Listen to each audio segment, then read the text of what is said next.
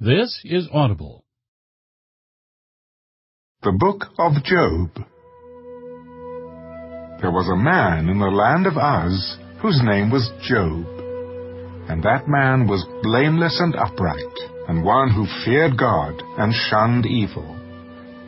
And seven sons and three daughters were born to him.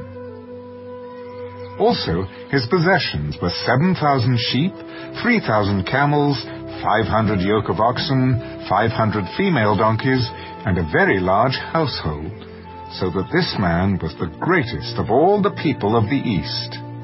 And his sons would go and feast in their houses, each on his appointed day, and would send and invite their three sisters to eat and drink with them. So it was when the days of feasting had run their course, that Job would send and sanctify them. And he would rise early in the morning and offer burnt offerings, according to the number of them all. For Job said, It may be that my sons have sinned and cursed God in their hearts. Thus Job did regularly. Now, there was a day when the sons of God came to present themselves before the Lord and Satan also came among them. And the Lord said to Satan, From where do you come? From going to and fro on the earth, and from walking back and forth on it. Have you considered my servant Job? That there is none like him on the earth, a blameless and upright man, one who fears God and shuns evil. Does Job fear God for nothing? Have you not made a hedge around him, around his household, and around all that he has on every side? You have blessed the work of his hands, and his possessions have increased in the land. But now, stretch out your hand and touch all that he has, and he will surely curse you to your face. Behold, all that he has is in your power. Only do not lay a hand on his person. So Satan went out from the presence of the Lord. Now there was a day when his sons and daughters were eating and drinking wine in their oldest brother's house, and a messenger came to Job. The oxen were plowing, and the donkeys feeding beside them, when the Sabaeans raided them and took them away. Indeed, they have killed the servants with the edge of the sword, and I alone have escaped to tell you. While he was still speaking, another also came and said, The fire of God fell from heaven and burned up the sheep and the servants and consumed them and I alone have escaped to tell you. While he was still speaking, another also came. The Chaldeans formed three bands, raided the camels, and, and took them away. Yes, and killed the servants with the edge of the sword. And I alone have escaped to tell you. While he was still speaking, another also came. Your sons and daughters were eating and drinking wine in their oldest brother's house. And suddenly, a great wind came from across the wilderness and struck the four corners of the house. And it fell on the young people, and they are dead. And I alone have escaped to tell you. Then Job arose, tore his robe, and shaved his head. And he fell to the ground and worshipped. Naked I came from my mother's womb, and naked shall I return there. The Lord gave, and the Lord has taken away. Blessed be the name of the Lord. In all this, Job did not sin, nor charge God with wrong.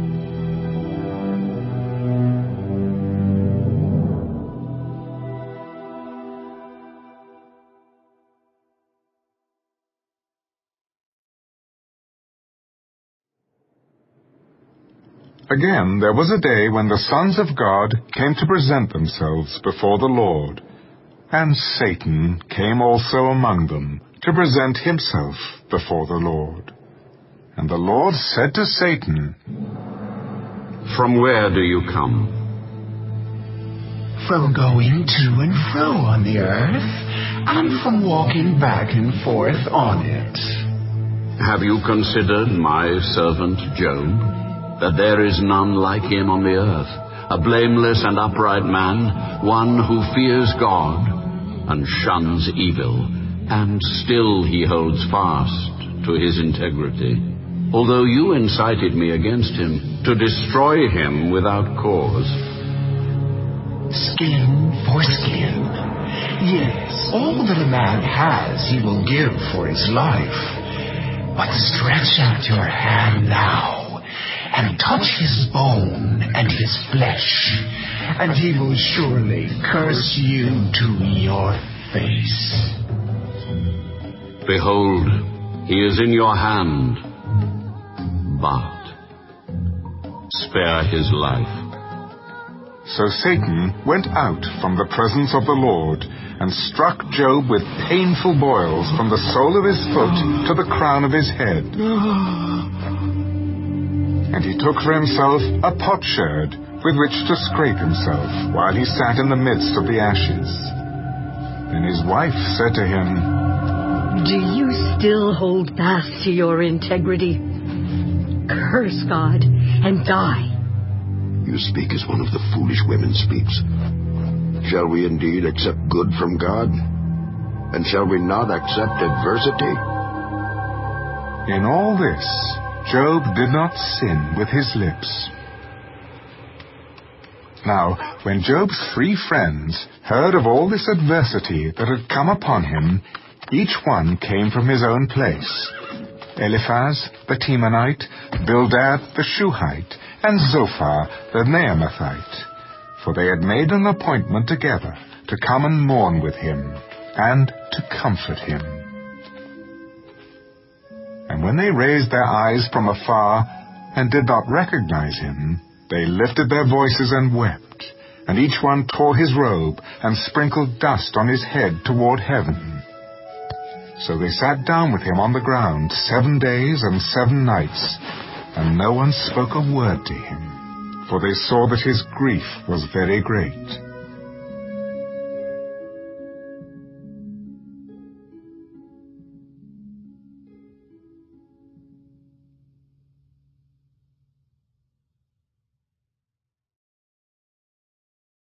After this, Job opened his mouth and cursed the day of his birth. May the day perish on which I was born, and the night in which it was said, The male child is conceived. May that day be darkness. May God above not seek it, nor the light shine upon it.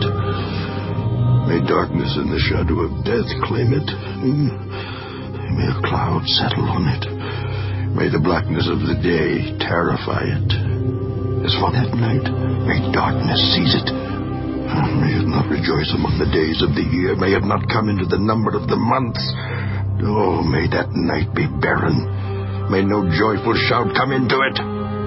May those curse it who curse the day.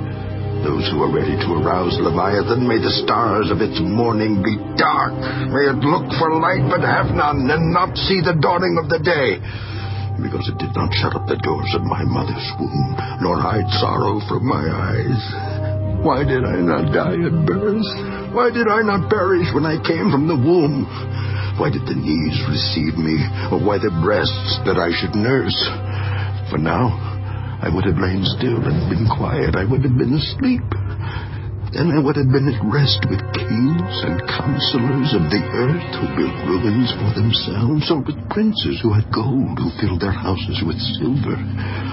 Or why was I not hidden like a stillborn child, like infants who never saw light? There the wicked cease from troubling, and there the weary are at rest. There the prisoners rest together. They do not hear the voice of the oppressor. The small and great are there, and the servant is free from his master. Why is light given to him who is in misery, and life to the bitter of soul who long for death, but it does not come, and search for it more than hidden treasures? Who rejoice exceedingly and are glad when they can find the grave? Why is light given to a man whose way is hidden, and whom God has hedged in? Oh, for my sighing comes before I eat, and my groanings pour out like water. But the thing I greatly feared has come upon me, and what I dreaded has happened to me. I am not at ease, nor am I quiet. I have no rest, for trouble comes.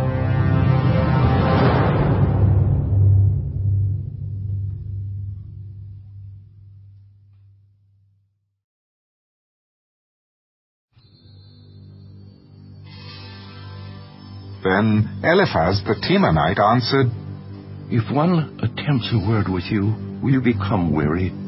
But who can withhold himself from speaking? Surely you have instructed many, and you have strengthened weak hands. Your words have upheld him who was stumbling, and you have strengthened the feeble knees. But now it comes upon you, and you are weary. It touches you, and you are troubled. Is not your reverence your confidence? And the integrity of your ways your hope? Remember now, who ever perished being innocent? Or where were the upright ever cut off? Even as I have seen, those who plow iniquity and sow trouble reap the same. By the blast of God they perish, and by the breath of his anger they are consumed. The roaring of the lion, the voice of the fierce lion, and the teeth of the young lions are broken. The old lion perishes for lack of prey, and the cubs of the lioness are scattered.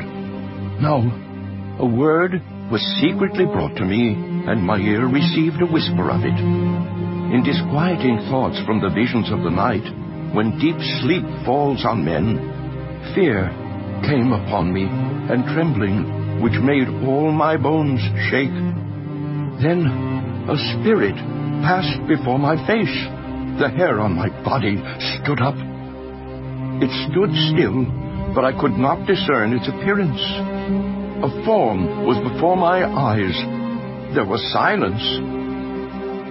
Then I heard a voice saying, Can a mortal be more righteous than God? Can a man be more pure than his Maker? If he puts no trust in his servants, if he charges his angels with error, how much more those who dwell in houses of clay, whose foundation is in the dust, who are crushed before a moth? They are broken in pieces from morning till evening. They perish forever with no one regarding. Does not their own excellence go away? They die even without wisdom.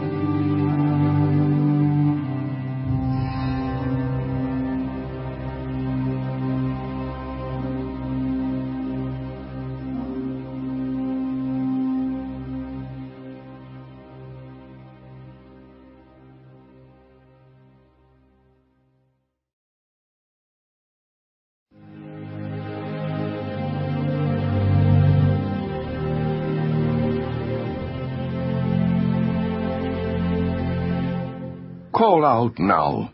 Is there anyone who will answer you? And to which of the holy ones will you turn? For wrath kills a foolish man, and envy slays a simple one. I have seen the foolish taking root, but suddenly I cursed his dwelling place. His sons are far from safety. They are crushed in the gate, and there is no deliverer. Because the hungry eat up his harvest, taking it even from the thorns and a snare snatches their substance. For affliction does not come from the dust, nor does trouble spring from the ground. Yet man is born to trouble, as the sparks fly upward. But as for me, I would seek God, and to God I would commit my cause, who does great things and unsearchable, marvelous things without number. He gives rain on the earth and sends waters on the fields. He sets on high those who are lowly, and those who mourn are lifted to safety. He frustrates the devices of the crafty so that their hands cannot carry out their plans. He catches the wise in their own craftiness, and the counsel of the cunning comes quickly upon them. They meet with darkness in the daytime, and grope at noontime as in the night. But he saves the needy from the sword, from the mouth of the mighty, and from their hand. So the poor have hope, and injustice shuts her mouth. Behold, happy is the man whom God corrects. Therefore do not despise the chastening of the Almighty, for he bruises, but he binds up. He wounds, but his hands make whole. He shall deliver you in six troubles. Yes, in seven no evil shall touch you. In famine he shall redeem you from death, and in war from the power of the sword. You shall be hidden from the scourge of the tongue, and you shall not be afraid of destruction when it comes. You shall laugh at destruction and famine, and you shall not be afraid of the beasts of the earth. For you shall have a covenant with the stones of the field, and the beasts of the field shall be at peace with you. You shall know that your tent is in peace. You shall visit your dwelling and find nothing amiss. You shall also know that your descendants shall be many, and your offspring like the grass of the earth. You shall come to the grave at a full age, as a sheaf of grain ripens in its season.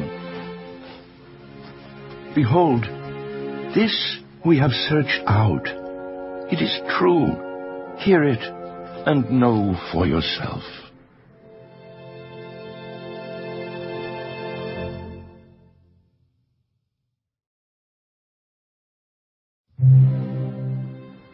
Then Job answered, Oh, that my grief were fully weighed, and my calamity laid with it on the scales. For then it would be heavier than the sand of the sea. Therefore my words have been rash, for the arrows of the Almighty are within me. My spirit drinks in their poison. The terrors of God are arrayed against me. Does the wild donkey bray when it has grass, or does the ox low over its fodder? Can flavorless food be eaten without salt? Or is there any taste in the white of an egg? My soul refuses to touch them. They are as loathsome food to me. Oh, that I might have my request, that God would grant me the thing that I long for, that it would please God to crush me, that he would loose his hand and cut me off. Then I would still have comfort. Though in anguish I would exult. He will not spare, for I have not concealed the words of the Holy One. What strength do I have that I should hope? And what is my end that I should prolong my life? Is my strength the strength of stones? Or is my flesh bronze? Is my help not within me? And is success driven from me? To him who is afflicted, kindness should be shown by his friend, even though he forsakes the fear of the Almighty. Hmm. My brothers have dealt deceitfully like a brook, like the streams of the brooks that pass away, which are dark because of the ice, and into which the snow vanishes. When it is warm, they cease to flow. When it is hot, they vanish from their place. The paths of their way turn aside. They go nowhere and perish. Hmm? The caverns of Tema, look, the travelers of Sheba, hope for them. They are disappointed because they were confident. They come there and are confused. For now you are nothing. You see terror and are afraid. Did I ever say, bring something to me? Or offer a bribe for me from your wealth? Hmm? Or deliver me from the enemy's hand? Or redeem me from the hand of oppressors? Teach me, and I will hold my tongue. Cause me to understand wherein I have erred. Hmm? How forceful are right words. But what does your arguing prove? Do you intend to rebuke my words? And the speeches of a desperate one? Which are as wind? Yes, you overwhelm the fatherless and you undermine your friend. Now, therefore, be pleased to look at me. For I would never lie to your face. Yield now. Let there be no injustice.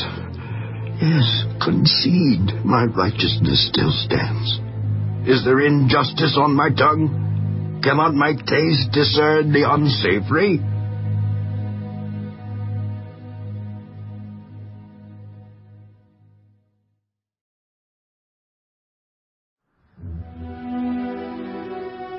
Is there not a time of hard service for man on earth? Are not his days also like the days of a hired man? Hmm. Like a servant who earnestly desires the shade, and like a hired man who eagerly looks for his wages, so I have been allotted months of futility, and wearisome nights have been appointed to me.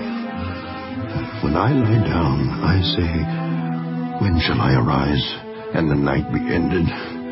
For I've had my fill of tossing till dawn. My flesh is caked with worms and dust. My skin is cracked and breaks out afresh. My days are swifter than a weaver's shuttle, and are spent without hope. Oh, remember that my life is a breath. My eye will never again see good. The eye of him who sees me will see me no more. While your eyes are upon me, I shall no longer be. As the cloud disappears and vanishes away, so he who goes down to the grave does not come up. He shall never return to his house, nor shall his place know him any more. Therefore I will not restrain my mouth. I will speak in the anguish of my spirit. I will complain in the bitterness of my soul. Am I a sea or a sea serpent that you set a guard over me? When I say my bed will comfort me, my couch will ease my complaint, then you scare me with dreams and terrify me with visions so that my soul chooses strangling and death rather than my body. I loathe my life. I would not live forever. Let me alone. My days are but a breath. What is man that you should exalt him, that you should set your heart on him? That you should visit him every morning and test him every moment? How long? Would you not look away from me and let me alone till I swallow my saliva? Have I sinned? What have I done to you, O watcher of men? Why have you set me as your target so that I am a burden to myself? Why then do you not pardon my transgression and take away my iniquity? But no, I will lie down in the dust and you will seek me diligently, but I will no longer be.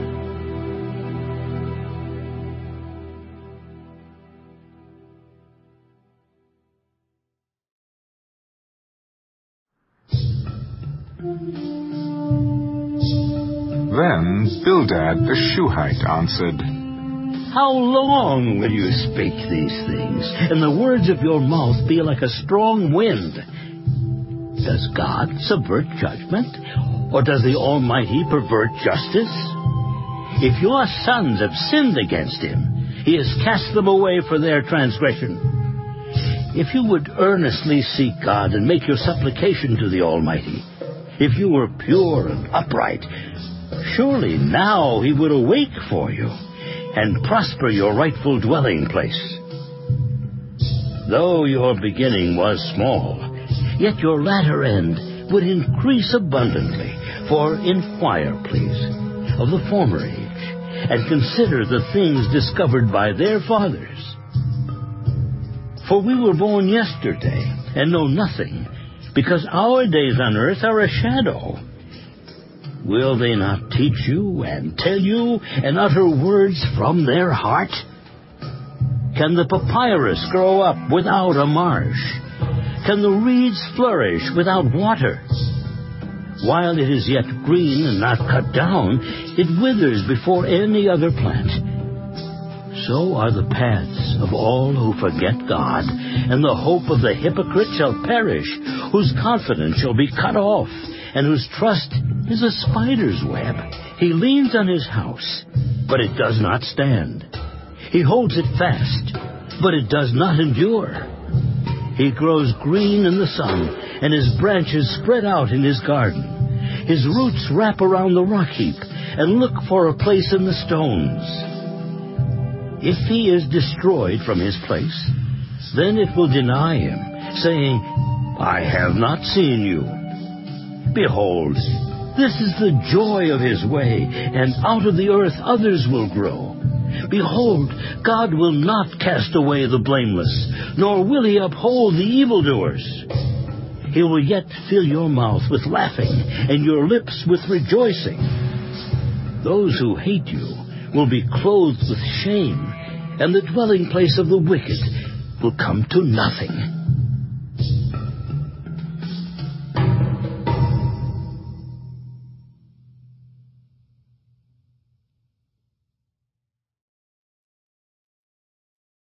Then Job answered, Truly, I know it is so, but how can a man be righteous before God? If one wished to contend with him, he could not answer him one time out of a thousand. God is wise in heart and mighty in strength. Who has hardened himself against him in prospered? Hmm? He removes the mountains, and they do not know when he overturns them in his anger. He shakes the earth out of its place, and its pillars tremble. He commands the sun, and it does not rise. He seals off the stars. He alone spreads out the heavens and treads on the waves of the sea. He made the bear, Orion, and the Pleiades, and the chambers of the south. He does great things past finding out. Yes, wonders without number. If he goes by me, I do not see him.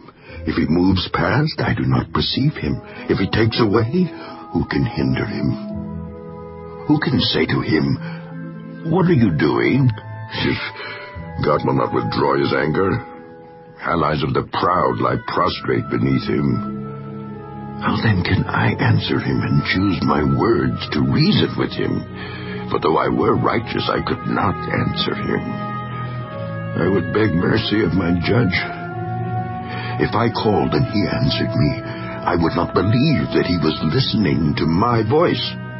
For he crushes me with a tempest and multiplies my wound without cause. He will not allow me to catch my breath, fills me with bitterness. If it is a matter of strength, indeed he is strong. And if of justice, who will appoint my day in court? Though I were righteous, my own mouth would condemn me. Though I were blameless, it would prove me perverse. I am blameless, yet I do not know myself. I despise my life. It is all one thing. Therefore I say, He destroys the blameless and the wicked. If the scourge slays suddenly, He laughs at the plight of the innocent. The earth is given into the hand of the wicked.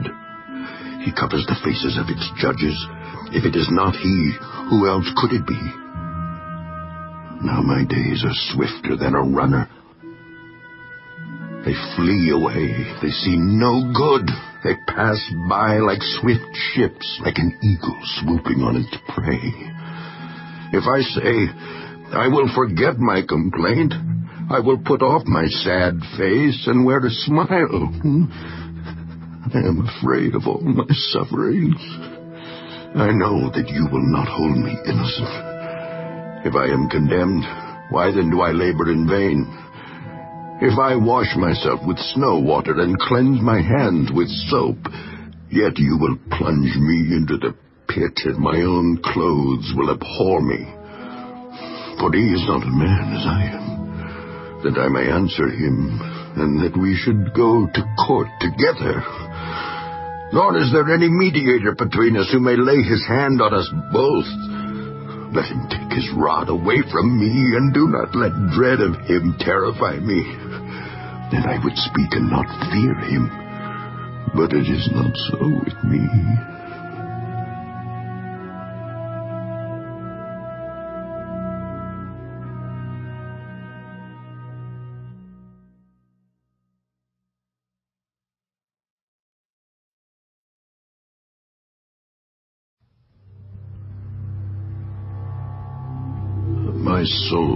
Loathes my life. I will give free course to my complaint. I will speak in the bitterness of my soul. I will say to God, Do not condemn me. Show me why you contend with me. Does it seem good to you that you should oppress? That you should despise the work of your hands and smile on the counsel of the wicked? Do you have eyes of flesh? Or do you see as man sees? Are your days like the days of a mortal man? Hmm? Are your years like the days of a mighty man? That you should seek for my iniquity and search out my sin, although you know that I am not wicked and there is no one who can deliver from your hand? Your hands have made me and fashioned me an intricate unity, yet you would destroy me. Remember, I pray, that you have made me like clay, and will you turn me into dust again? Did, did you not pour me out like milk, and curdle me like cheese? Clothe me with skin and flesh, and knit me together with bones and sinews? You have granted me life and favor, and your care has preserved my spirit. And these things you have hidden in your heart. I know that this was with you. If I sin, then you mark me and will not acquit me of my iniquity.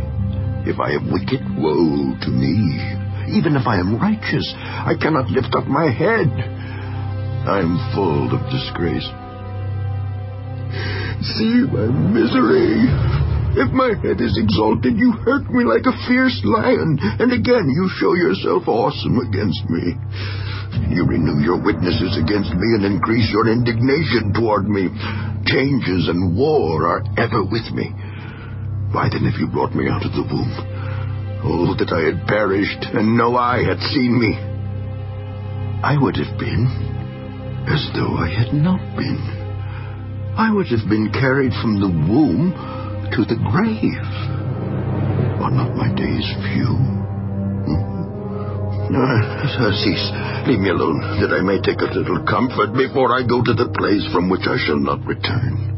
To the land of darkness and the shadow of death. A land as dark as darkness itself, as the shadow of death, without any order, where even the light is like darkness.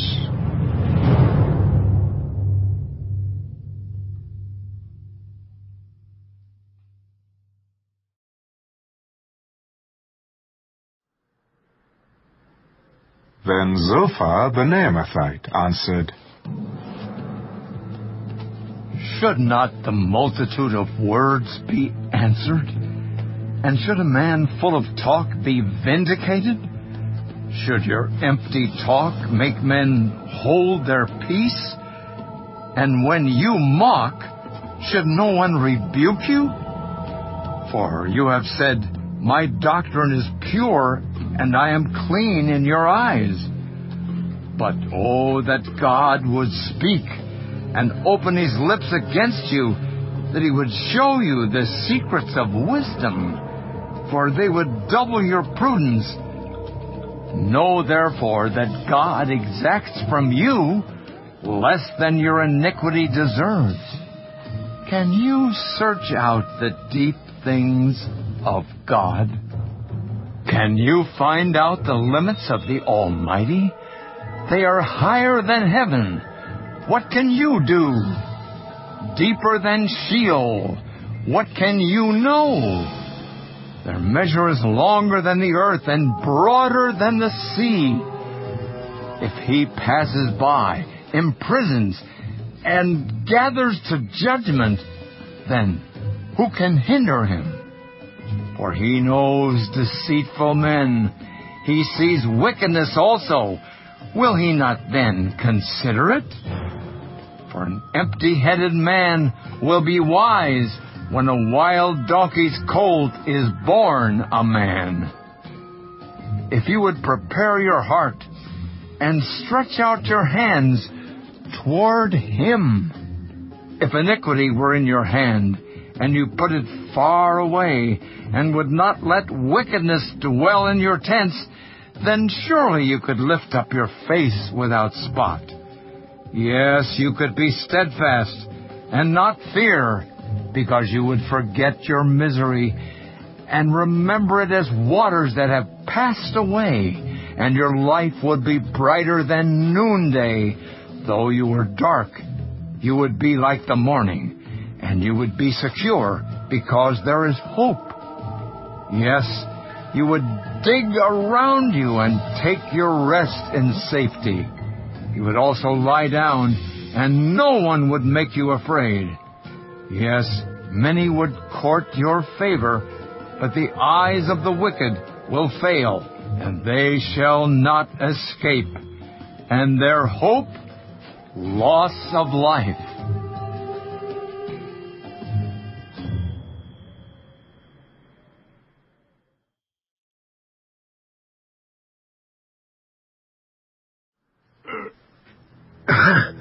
Then Job answered, No doubt you are the people, and wisdom will die with you. But I have understanding as well as you. I am not inferior to you. Indeed, who, who does not know such things as these? I am one mocked by his friends who called on God, and he answered him, the just and blameless who is ridiculed. A lamp is despised in the thought of one who is at ease. It is made ready for those whose feet slip.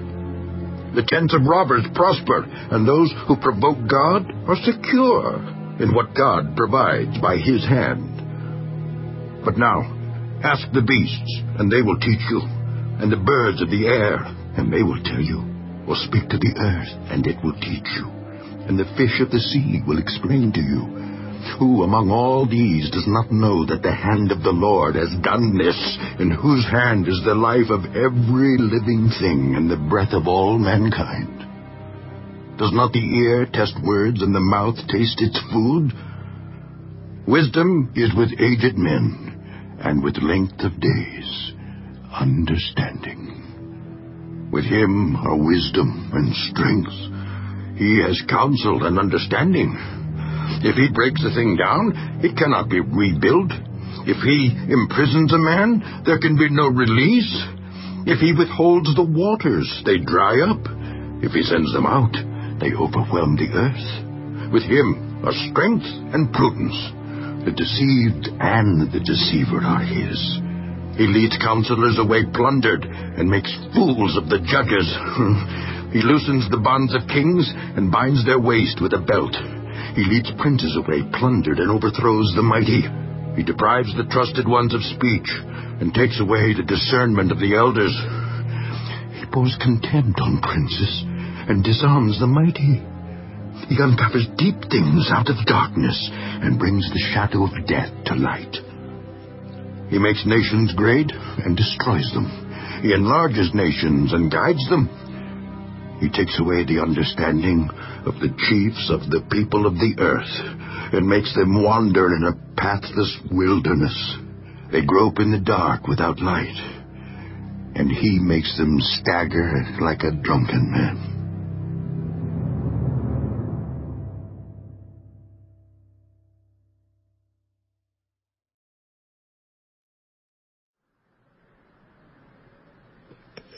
Behold, my, my eye has seen all this. My ear has heard and understood it. What you know, I also know. I am not inferior to you. But I would speak to the Almighty, and I desire to reason with God. But you, forgers of lies, are all worthless physicians. Oh, that you would be silent, and it would be your wisdom. Now, hear my reasoning, and heed the pleadings of my lips. Will you speak wickedly for God and talk deceitfully for Him? Will you show partiality for Him? Will you contend for God? Will it be well when He searches you out? Or can you mock Him as one mocks a man? He will surely rebuke you if you secretly show partiality. Will not His excellence make you afraid, and the dread of Him fall upon you? Your platitudes are proverbs of ashes. Your defenses are defenses of clay. Hold your peace with me and let me speak. Then let come on me what may. Why do I take my flesh in my teeth and put my life in my hands? Though he slay me, yet will I trust him. Even so, I will defend my own ways before him. He also shall be my salvation, for a hypocrite could not come before him. Listen carefully to my speech and to my declaration with your ears. See now, I have prepared my case. I know that I shall be vindicated. Who is he who will contend with me? Hmm? If now I hold my tongue, I perish. Only two things do not do to me, and I will not hide myself from you. Withdraw your hand far from me, and let not the dread of you make me afraid. Then call, and I will answer. Or let me speak, then you respond to me. How many are my iniquities and sins? Make me know my transgression and my sin. Why do you hide your face and regard me as your enemy? Would you frighten a leaf driven to and fro? And will you pursue dry stubble? For you write bitter things against me and make me inherit the iniquities of my youth. You put my feet in the stocks and watch closely all my paths. You set a limit for the soles of my feet. Man decays like a rotten thing, like a garment that is moth-eaten.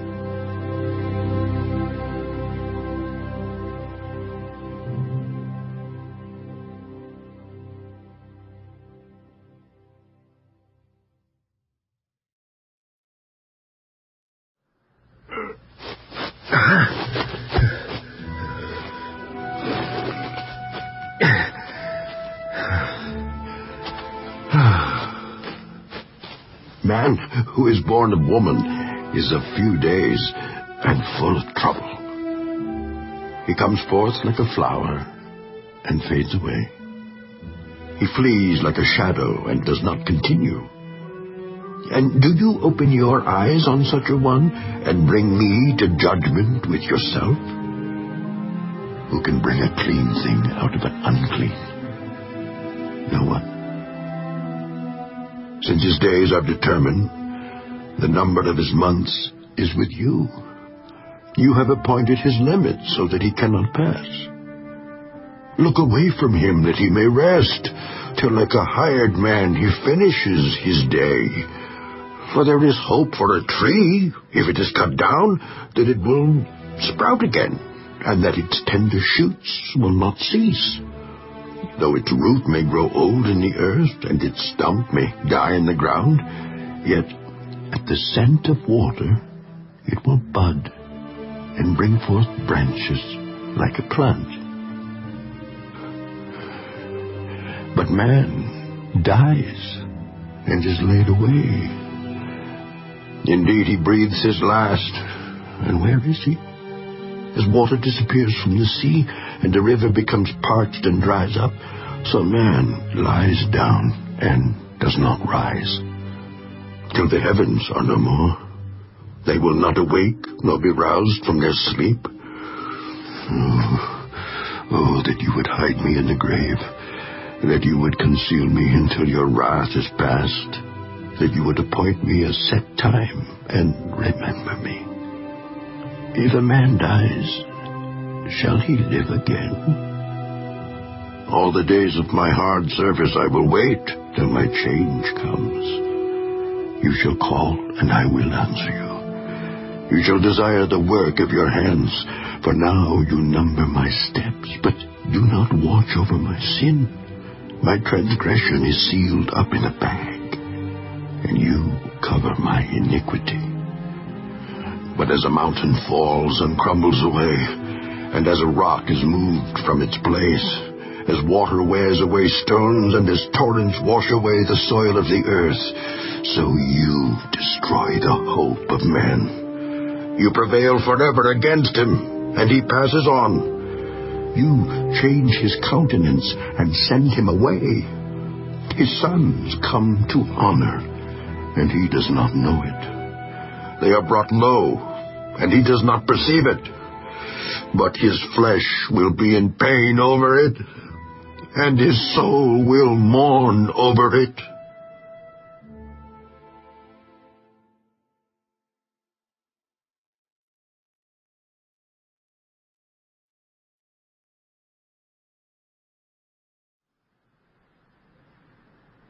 Then Eliphaz the Temanite answered, Should a wise man answer with empty knowledge and fill himself with the east wind? Should he reason with unprofitable talk or by speeches with which he can do no good? Yes, you cast off fear and restrain prayer before God.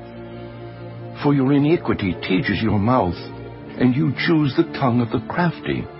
Your own mouth condemns you, and not I.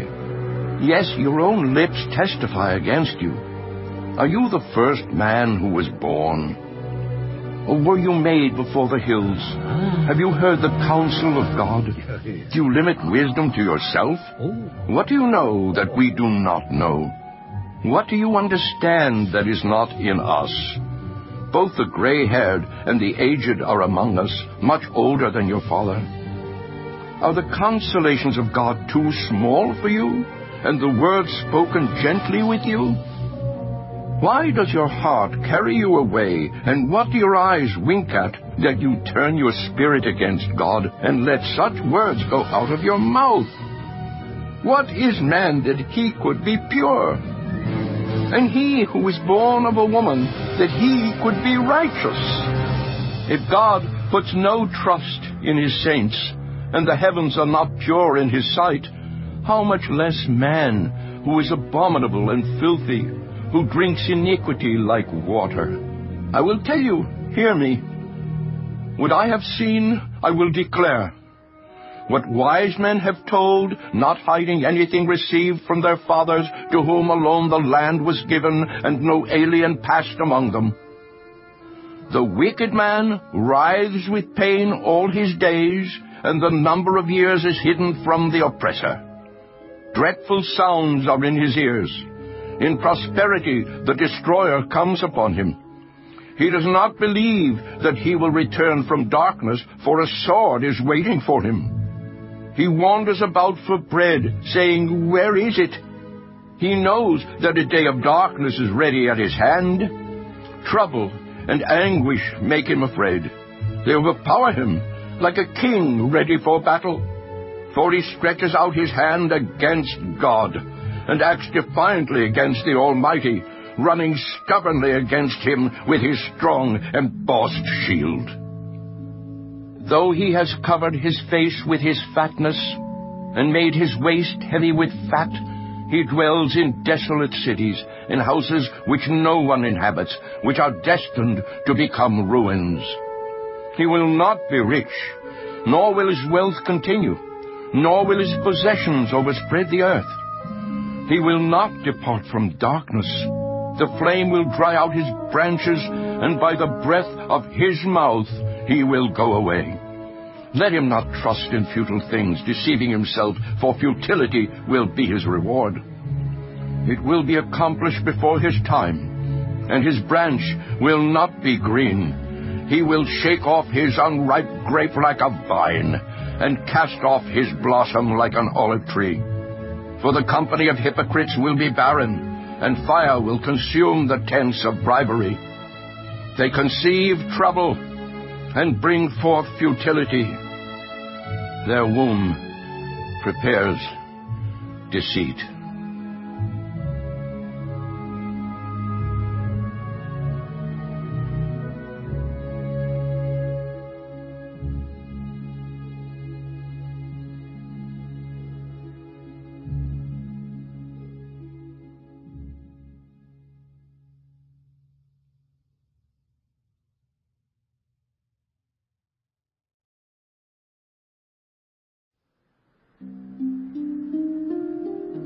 Then Job answered,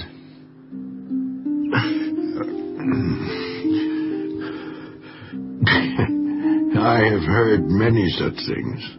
Miserable comforters are you all. Shall words of wind have an end? Or what provokes you that you answer? I also could speak as you do, if your soul were in my soul's place. I could heap up words against you and shake my head at you, but I would strengthen you with my mouth, and the comfort of my lips would relieve your grief. Though I speak, my grief is not relieved. And if I remain silent, how am I eased? But now he has worn me out. You have made desolate all my company. You have shriveled me up. And it is a witness against me. My leanness rises up against me and bears witness to my face. He tears me in his wrath and hates me. He gnashes at me with his teeth. My adversary sharpens his gaze on me. They gape at me with their mouth. They strike me reproachfully on the cheek. They gather together against me. God has delivered me to the ungodly and turned me over to the hands of the wicked. I was at ease, but he has shattered me. Also has taken me by my neck and shaken me to pieces. He has set me up for his target. His archers surround me. He pierces my heart and does not pity. He pours out my gall on the ground. He breaks me with wound upon wound. He runs at me like a warrior. I have sewn sackcloth over my skin and laid my head in the dust. My face is flushed from weeping, and on my eyelids is the shadow of death. Although no violence is in my hands, and my prayer is pure. O earth, do not cover my blood and let my cry have no resting place. Surely even now my witness is in heaven, and my evidence is on high. My friends scorn me. My eyes pour out tears to God. Oh, that one might plead for a man with God, as a man pleads for his neighbor. For when a few years are finished, I shall go the way of no return.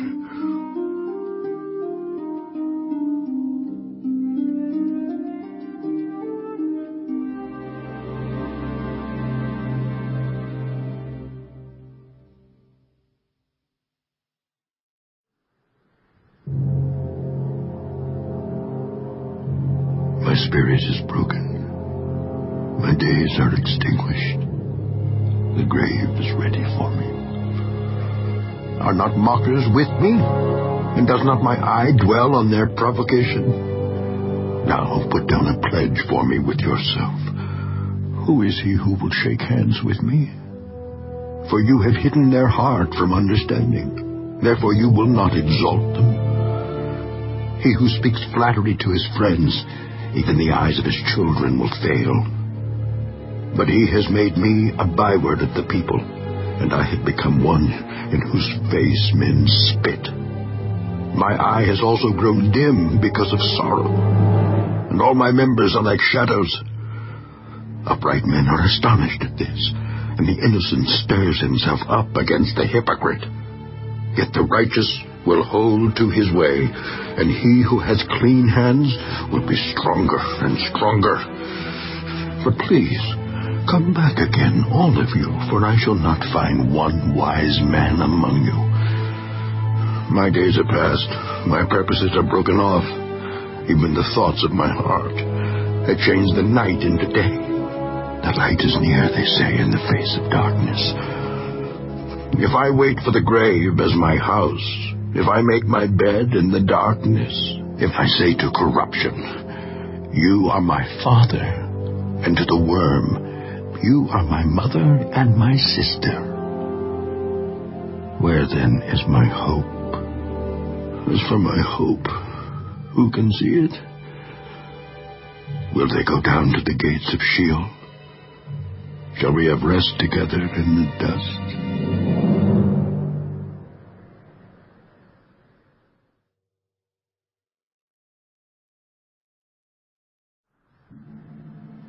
Then Bildad the Shuhite answered, How long shall you put an end to words?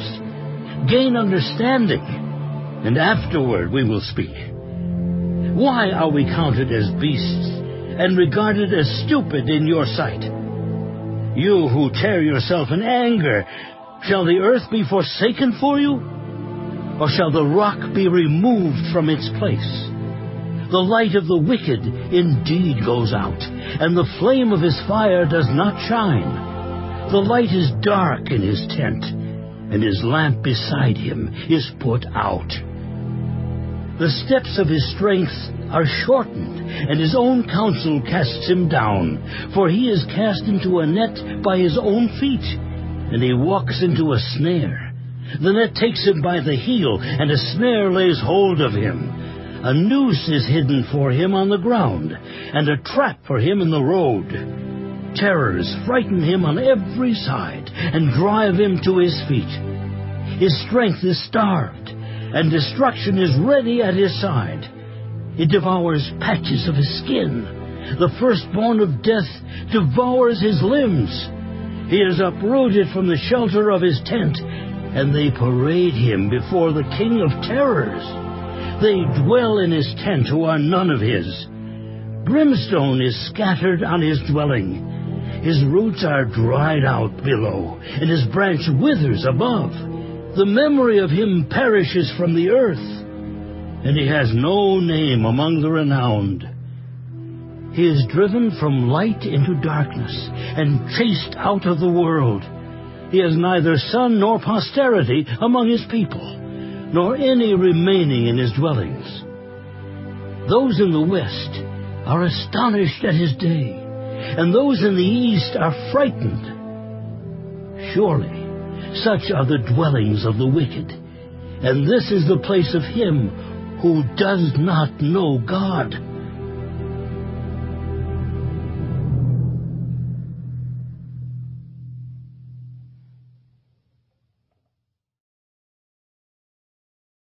Then Job answered, How long would you torment my soul and break me in pieces with words? These ten times you have reproached me. You are not ashamed that you have wronged me. And if indeed I have erred, my error remains with me. If indeed you exalt yourselves against me and plead my disgrace against me, know then that God has wronged me and has surrounded me with his net. If I cry out concerning wrong, I am not heard. If I cry aloud, there is no justice. He has fenced up my way so that I cannot pass, and he has set darkness in my paths. He has stripped me of my glory and taken the crown from my head.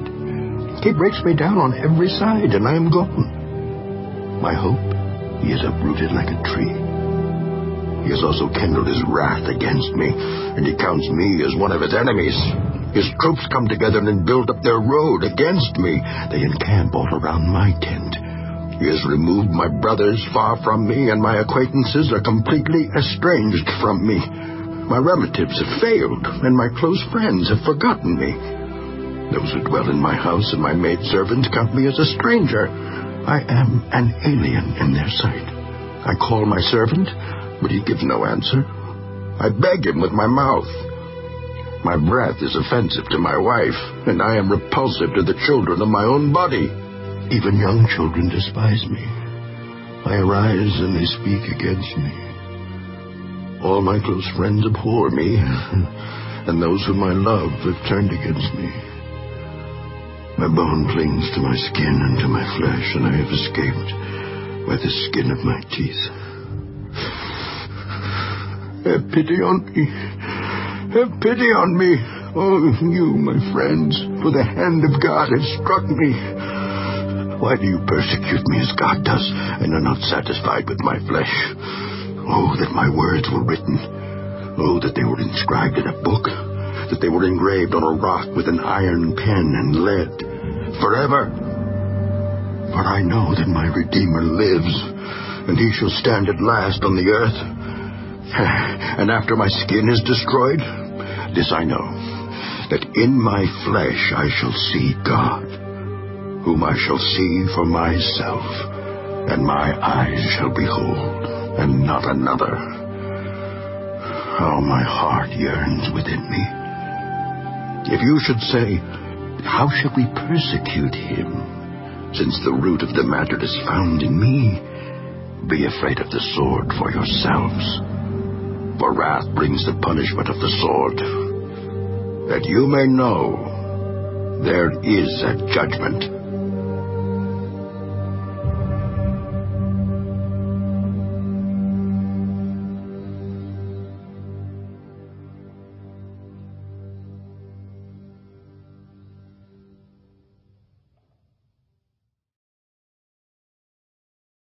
Then Zophar the Naamathite answered, Therefore, my anxious thoughts make me answer, because of the turmoil within me.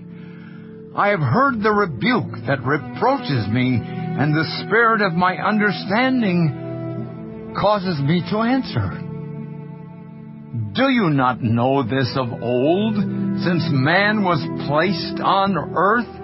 that the triumphing of the wicked is short, and the joy of the hypocrite is but for a moment? Though his haughtiness mounts up to the heavens, and his head reaches to the clouds, yet he will perish forever like his own refuse. Those who have seen him will say, Where is he?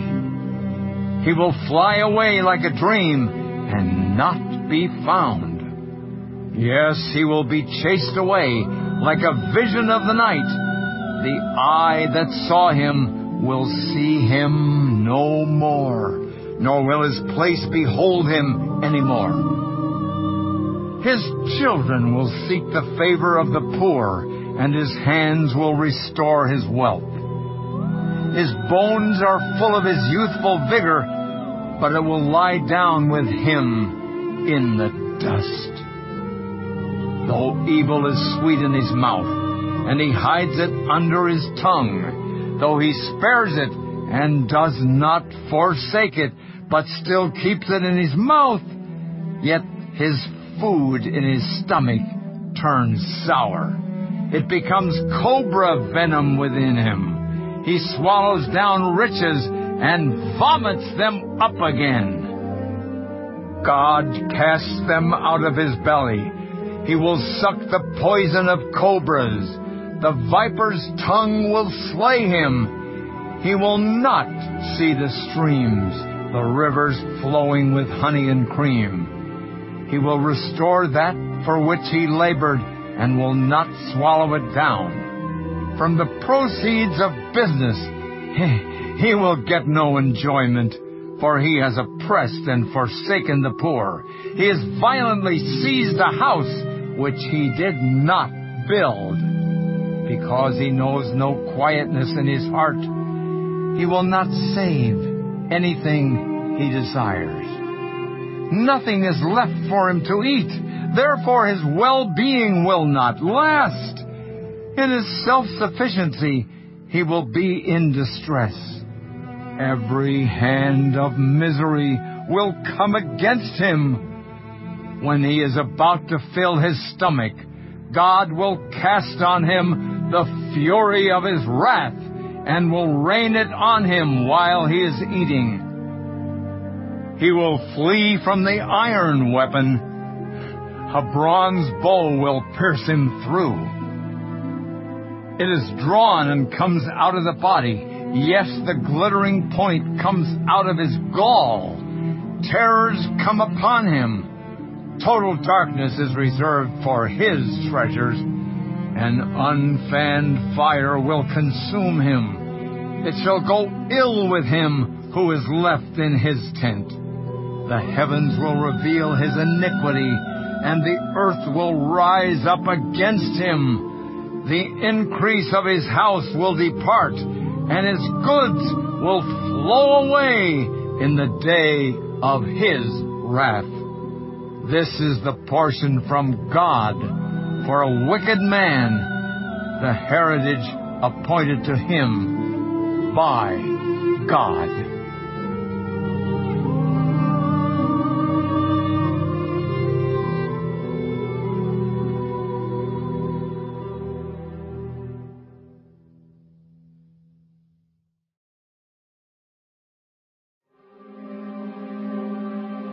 Then Job answered, Listen carefully to my speech. And let this be your consolation. Bear with me that I may speak, and after I have spoken, keep mocking. As for me, is my complaint against man? And if it were, why should I not be impatient? Look at me and be astonished. Put your hand over your mouth. Even when I remember I am terrified and trembling takes hold of my flesh. Why do the wicked live and become old? Yes, become mighty in power. Their descendants are established with them in their sight, and their offspring before their eyes. Their houses are safe from fear, neither is the rod of God upon them. Their bull breeds without failure, their cow calves without miscarriage. They send forth their little ones like a flock, and their children dance. They sing to the tambourine and harp and rejoice to the sound of the flute. They spend their days in wealth, and in a moment go down to the grave. Yet they say to God, Depart from us, for we do not desire the knowledge of your ways. Who is the Almighty that we should serve him? And what profit do we have if we pray to him? Indeed, their prosperity is not in their hand. The counsel of the wicked is far from me. How often is the lamp of the wicked put out? How often does their destruction come upon them? The sorrows God distributes in his anger. They are like straw before the wind, and like chaff that a storm carries away. They say, God lays up one's iniquity for his children. Let him recompense him, that he may know it. Let his eyes see his destruction, and let him drink of the wrath of the Almighty. For what does he care about his household after him, when the number of his months is cut in half? Can anyone teach God knowledge, since he judges those on high? One dies in his full strength, being wholly at ease and secure. His pails are full of milk and the marrow of his bones is moist. Another man dies in the bitterness of his soul, never having eaten with pleasure. They lie down alike in the dust, and worms cover them. Look, I know your thoughts and the schemes with which you would wrong me. For you say, Where is the house of the prince? And where is the tent, the dwelling place of the wicked? Have you not asked those who travel the road? And do you not know their signs? For the wicked are reserved for the day of doom. They shall be brought out on the day of wrath. Who condemns his way to his face? And who repays him for what he has done? Yet he shall be brought to the grave, and a vigil kept over the tomb the clods of the valley shall be sweet to him. Everyone shall follow him, as countless have gone before him. How then can you comfort me with empty words, since falsehood remains in your answers?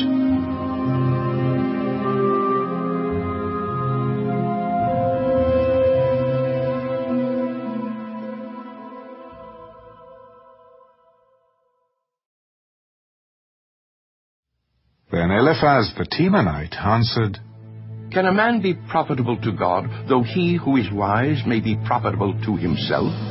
Is it any pleasure to the Almighty that you are righteous? Or is it gain to him that you make your ways blameless? Is it because of your fear of him that he corrects you and enters into judgment with you? Is not your wickedness great, and your iniquity without end? For you have taken pledges from your brother for no reason, and stripped the naked of their clothing. You have not given the weary water to drink, and you have withheld bread from the hungry. But the mighty man possessed the land, and the honorable man dwelt in it. You have sent widows away empty, and the strength of the fatherless was crushed. Therefore, snares are all around you and sudden fear troubles you, or darkness so that you cannot see. And an abundance of water covers you. Is not God in the height of heaven? And see the highest stars, how lofty they are. And you say, What does God know? Can he judge through the deep darkness?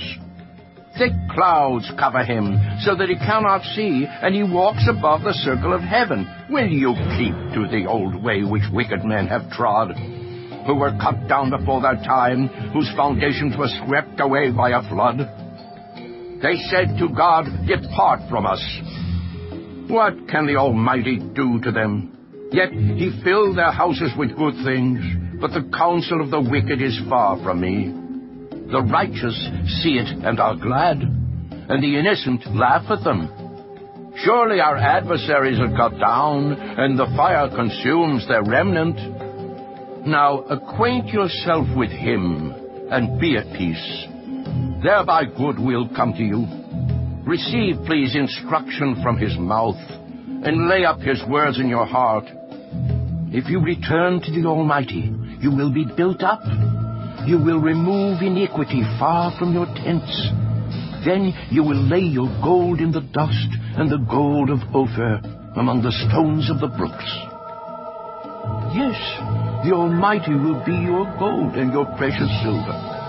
For then you will have your delight in the Almighty and lift up your face to God. You will make your prayer to Him. He will hear you, and you will pay your vows. You will also declare a thing, and it will be established for you. So light will shine on your ways. When they cast you down and you say exaltation will come, then he will save the humble person. He will even deliver one who is not innocent. Yes, he will be delivered by the purity of your hands.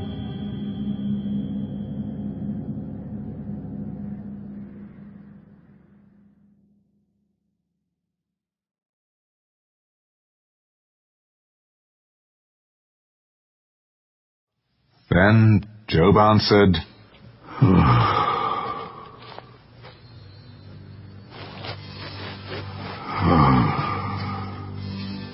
Even today my complaint is bitter. My hand is listless because of my groaning. Oh, that I knew where I might find him, that I might come to his seat. I would present my case before him and fill my mouth with arguments. I would know the words which he would answer me and understand what he would say to me. Would he contend with me in his great power? No. But he would take note of me. There the upright could reason with him, and I would be delivered forever from my judge. Look, I go forward, but he is not there, and backward, but I cannot perceive him. When he works on the left hand, I cannot behold him. When he turns to the right hand, I cannot see him. But he knows the way that I take. When he has tested me, I shall come forth as gold.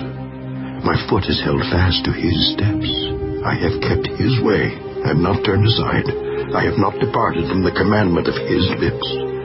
I have treasured the words of his mouth more than my necessary food. But he is unique, and who can make him change? And whatever his soul desires, that he does.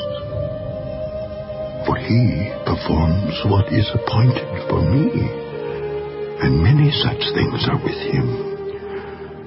Therefore, I am terrified at his presence.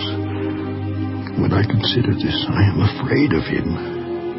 For God made my heart weak, and the Almighty terrifies me.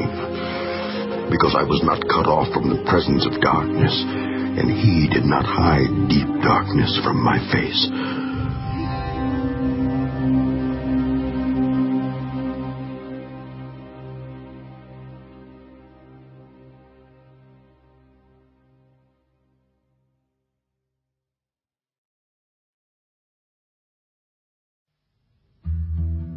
Since times are not hidden from the Almighty, why do those who know him see not his days?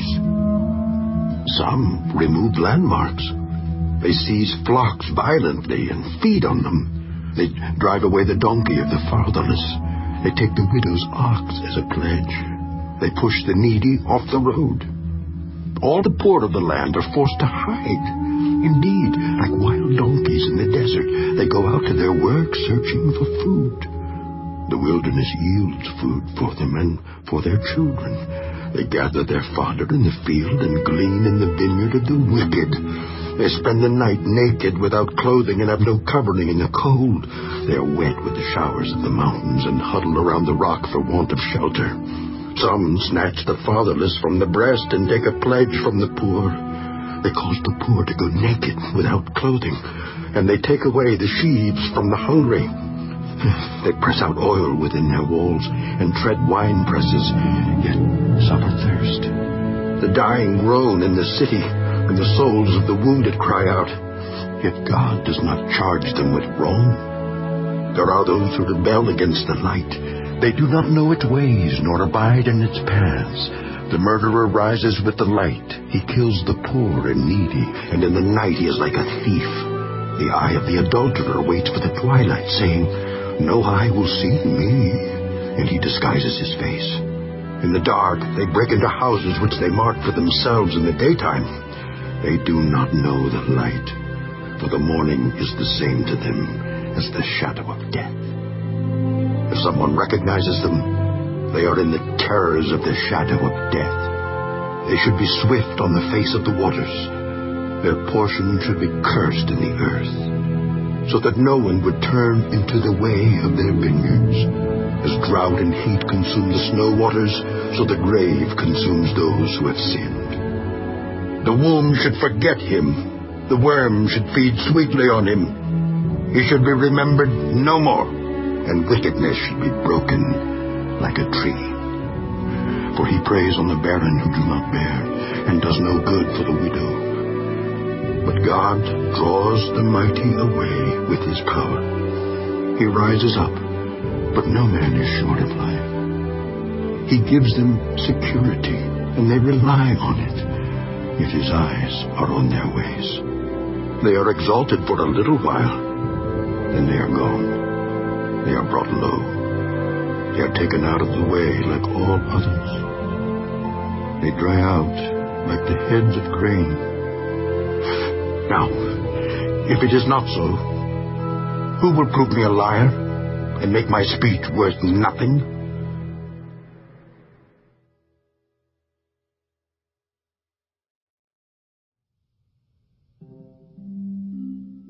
Then Bildad the Shuhite answered, dominion and fear belong to him. He makes peace in his high places. Is there any number to his armies? Upon whom does his light not rise? How then can man be righteous before God? Or how can he be pure who is born of a woman? If even the moon does not shine, and the stars are not pure in his sight, how much less man, who is a maggot, and a son of man, who is a worm?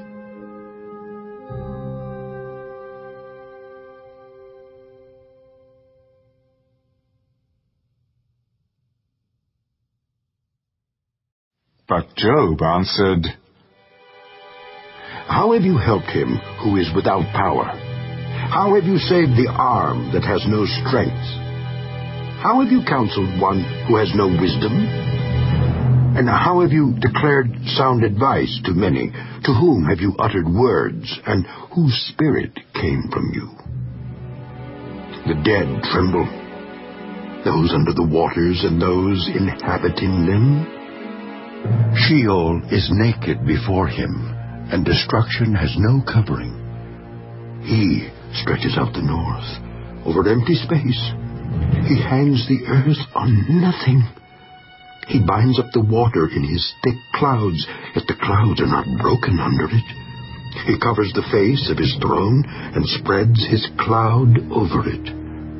He drew a circular horizon on the face of the waters at the boundary of light and darkness. The pillars of heaven tremble and are astonished at his rebuke. He stirs up the sea with his power and by his understanding he breaks up the storm. By his spirit he adorned the heavens. His hand pierced the fleeing serpent. Indeed, these are the mere edges of his ways, and how small a whisper we hear of him. But the thunder of his power, who can understand?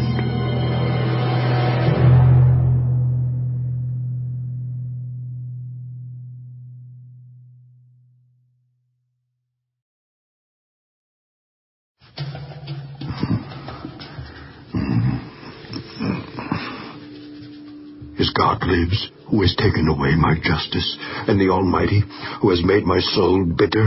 As long as my breath is in me and the breath of God is in my nostrils, my lips will not speak wickedness, nor my tongue utter deceit. Far be it from me that I should say you are right. Till I die, I will not put away my integrity from me. My righteousness I hold fast, and will not let it go.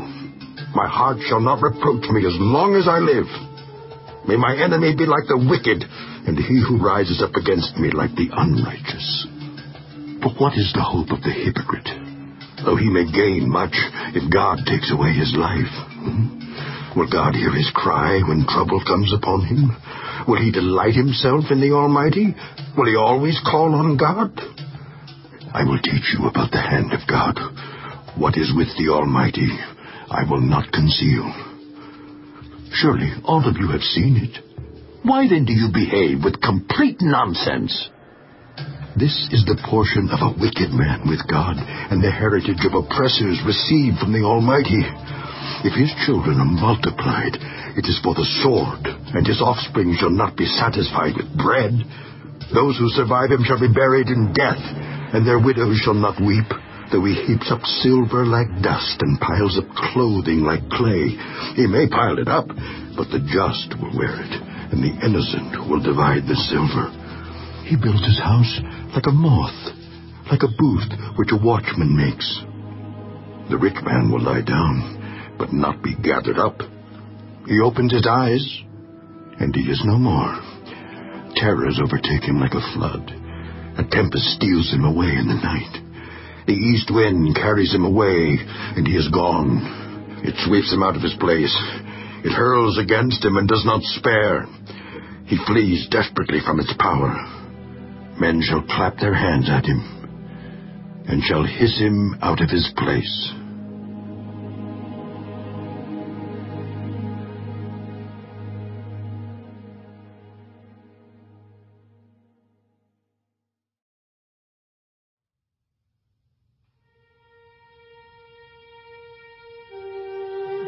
Surely there is a mine for silver, and a place where gold is refined. Iron is taken from the earth, and copper is smelted from ore. Man puts an end to darkness, and searches every recess for ore in the darkness and the shadow of death. He breaks open a shaft away from people. In places forgotten by feet, they hang far away from men. They swing to and fro. As for the earth, from it comes bread, but underneath it is turned up as by fire. Its stones are the source of sapphires, and it contains gold dust. That path no bird knows, nor has the falcon's eye seen it. The proud lions have not trodden it, nor has the fierce lion passed over it. He puts his hand on the flint. He overturns the mountains at the roots. He cuts out channels in the rocks, and his eye sees every precious thing. He dams up the streams from trickling. What is hidden he brings forth to light. But where can wisdom be found? And where is the place of understanding? Man does not know its value, nor is it found in the land of the living. The deep says, It is not in me, and the sea says, it is not with me. It cannot be purchased for gold, nor can silver be weighed for its price. It cannot be valued in the gold of Ophir, in precious onyx or sapphire. Neither gold nor crystal can equal it, nor can it be exchanged for jewelry of fine gold. No mention shall be made of coral or quartz for the price of wisdom. is above rubies. The topaz of Ethiopia cannot equal it, or can it be valued in pure gold. From where, then, does wisdom come? And where is the place of understanding? It is hidden from the eyes of all living, and concealed from the birds of the air. Destruction and death say, We have heard a report about it with our ears. God understands its way, and He knows its place. For He looks to the ends of the earth and sees under the whole heavens to establish a weight for the wind and to portion the waters by measure. When He made a law for the rain and a path for the thunderbolt, then He saw wisdom and declared it. He prepared it indeed. He searched it out. And to man he said, Behold, the fear of the Lord, that is wisdom. And to depart from evil is understanding.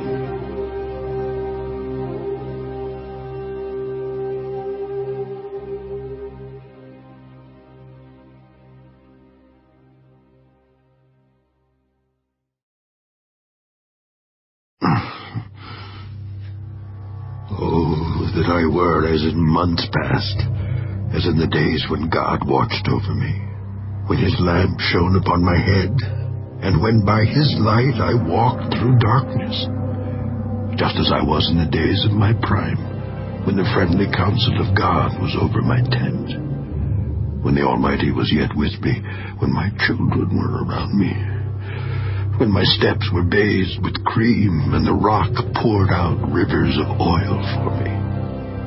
When I went out to the gate by the city, when I took my seat in the open square, the young men saw me and hid, and the aged arose and stood. The princes refrained from talking and put their hand on their mouths. The voice of nobles was hushed, and their tongues stuck to the roof of their mouths. When the ear heard, then it blessed me. And when the eye saw, then it approved me. Because I delivered the poor who cried out, the fatherless, and the one who had no helper. The blessing of a perishing man came upon me, and I caused the widow's heart to sing for joy. I put on righteousness, and it clothed me. My justice was like a robe and a turban. I was eyes to the blind, and I was feet to the lame. I was a father to the poor, and I searched out the case that I did not know. I broke the fangs of the wicked, and plucked the victim from his teeth. Then I said, I shall die in my nest, and multiply my days as the sand. My root is spread out to the waters, and the dew lies all night on my branch.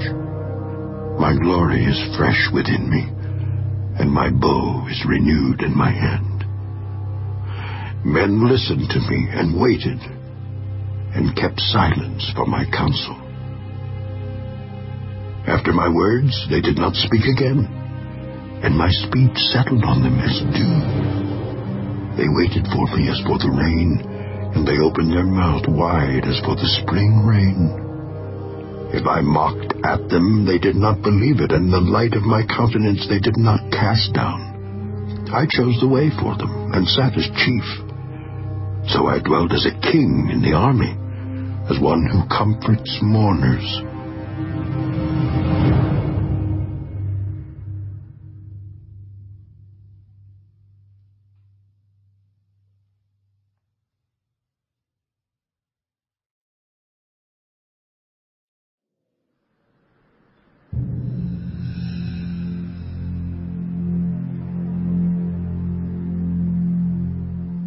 But now they mock at me, men younger than I, whose fathers I disdain to put with the dogs of my flock.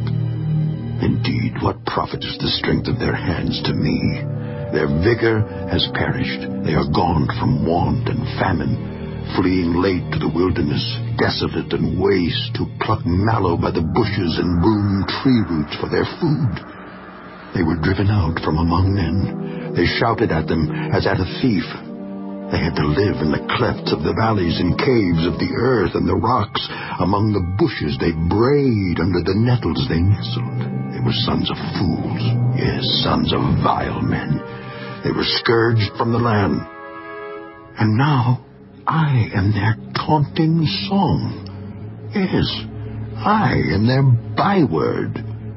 They abhor me. They keep far from me. They do not hesitate to spit in my face. Because he has loosed my bowstring and afflicted me, they have cast off restraint before me. At my right hand the rabble arises. They push away my feet, and they raise against me their ways of destruction. They break up my path. They promote my calamity. They have no helper. They come as broad breakers. Under the ruinous storm they roll along. Terrors have turned upon me. They pursue my honor as the wind, and my prosperity has passed like a cloud. And now my soul is poured out because of my plight. The days of affliction take hold of me. My bones are pierced in me at night, and my gnawing pains take no rest. My great force, my garment, is disfigured. It binds me about as the collar of my coat. He has cast me into the mire, and I have become like dust and ashes. Hmm. I cry out to you, but you do not answer me. I stand up, and you regard me, but you have become cruel to me. With the strength of your hand you oppose me. You lift me up to the wind and cause me to ride on it. You spoil my success, for I know that you will bring me to death and to the house appointed for all living. Surely he would not stretch out his hand against a heap of ruins if they cry out when he destroys it. Have I not wept for him who is in trouble? Has not my soul grieved for the poor? But when I looked for good, evil came to me. And when I waited for light, then came darkness. My heart is in turmoil and cannot rest. Days of affliction confront me. I go about mourning, but not in the sun. I stand up in the assembly and cry out for help. I am a brother of jackals and a companion of ostriches. My skin grows black and falls from me. My bones burn with fever. My harp is turned to mourning, and my flute to the voice of those who weep.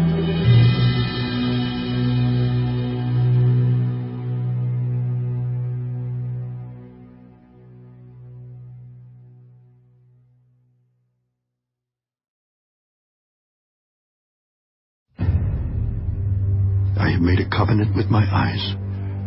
Why then should I look upon a young woman? For what is the allotment of God from above, and the inheritance of the Almighty from on high?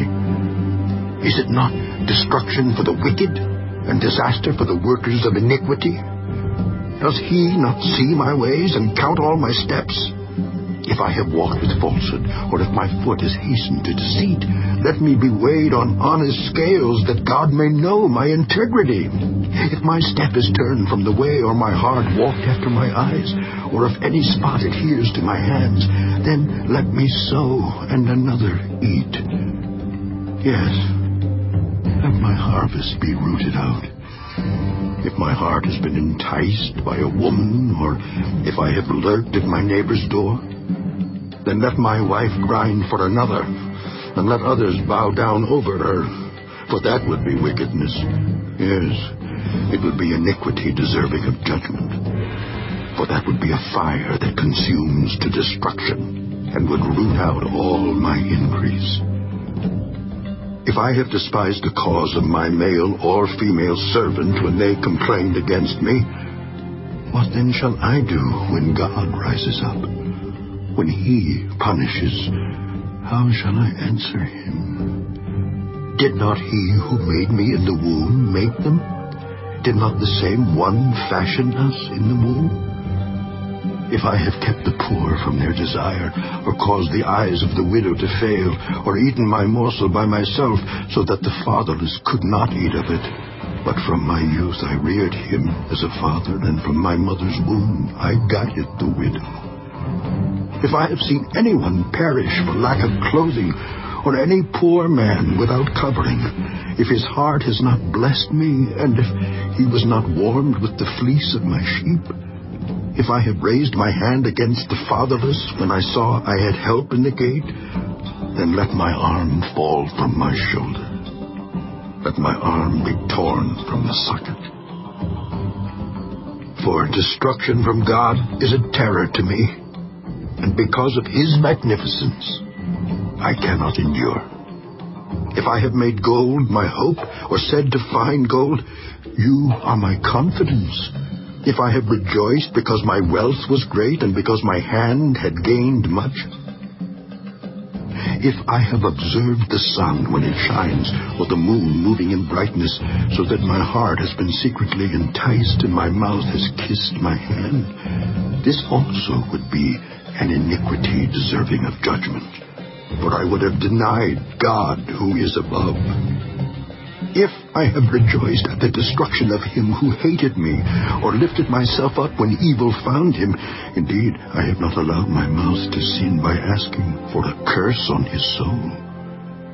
If the men of my tent have not said, Who is there that has not been satisfied with his meat? But no sojourner had to lodge in the street, for I have opened my doors to the traveler. If I have covered my transgressions as Adam by hiding my iniquity in my bosom, because I feared the great multitude and dreaded the contempt of families, so that I kept silence and did not go out of the door, oh, that I had one to hear me.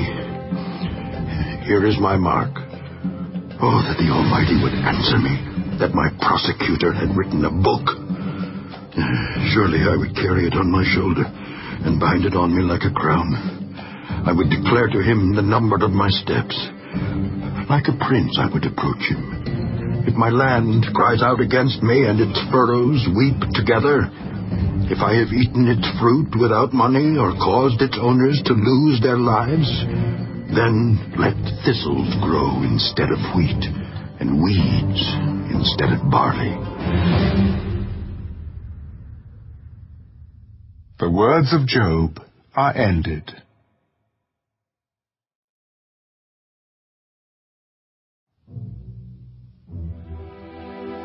So these three men ceased answering Job, because he was righteous in his own eyes. Then the wrath of Elihu, the son of Barachel the Buzite, of the family of Ram, was aroused against Job. His wrath was aroused because he justified himself rather than God.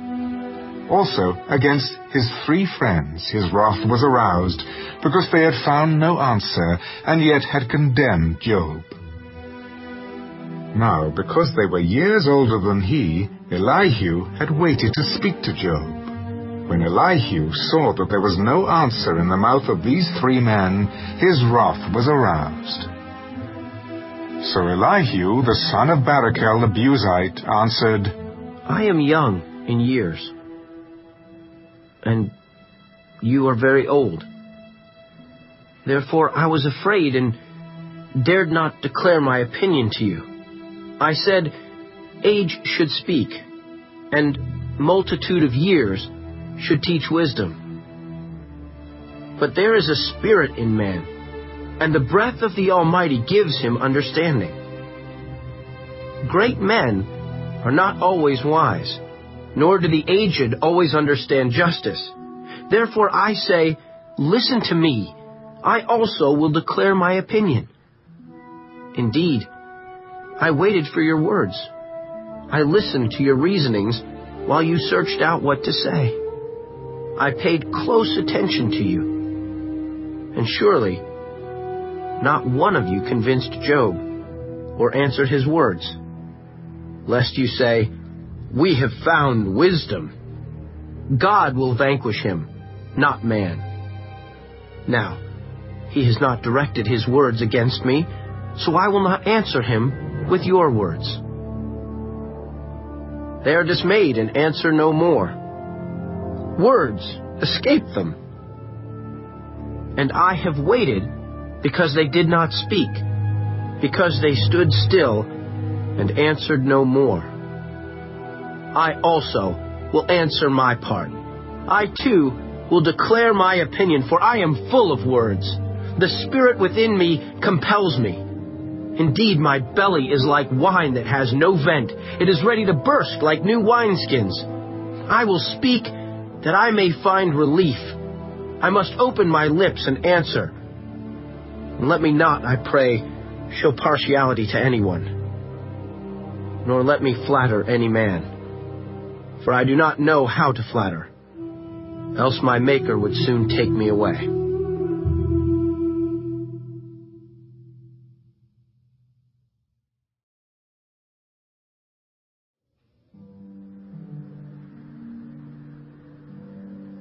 But please, Job, hear my speech and listen to all my words. Now I open my mouth. My tongue speaks in my mouth. My words come from my upright heart. My lips utter pure knowledge. The Spirit of God has made me, and the breath of the Almighty gives me life. If you can answer me, set your words in order before me. Take your stand. Truly, I am as your spokesman before God. I also have been formed out of clay. Surely no fear of me will terrify you, nor will my hand be heavy on you. Surely you have spoken in my hearing, and I have heard the sound of your words, saying, I am pure, without transgression, I am innocent, and there is no iniquity in me, yet he finds occasions against me. He counts me as his enemy. He puts my feet in the stocks. He watches all my paths. In this you are not righteous. I will answer you, for God is greater than man. Why do you contend with him? For he does not give an accounting of any of his words. For God may speak in one way or in another, yet man does not perceive it. In a dream, in a vision of the night, when deep sleep falls upon men while slumbering on their beds, then he opens the ears of men and seals their instruction. In order to turn man from his deed and conceal pride from man, he keeps back his soul from the pit and his life from perishing by the sword. Man is also chastened with pain on his bed and with strong pain in many of his bones, so that his life abhors bread and his soul succulent food. His flesh wastes away from sight, and his bones stick out, which once were not seen. Yes, his soul draws near the pit, and his life to the executioners.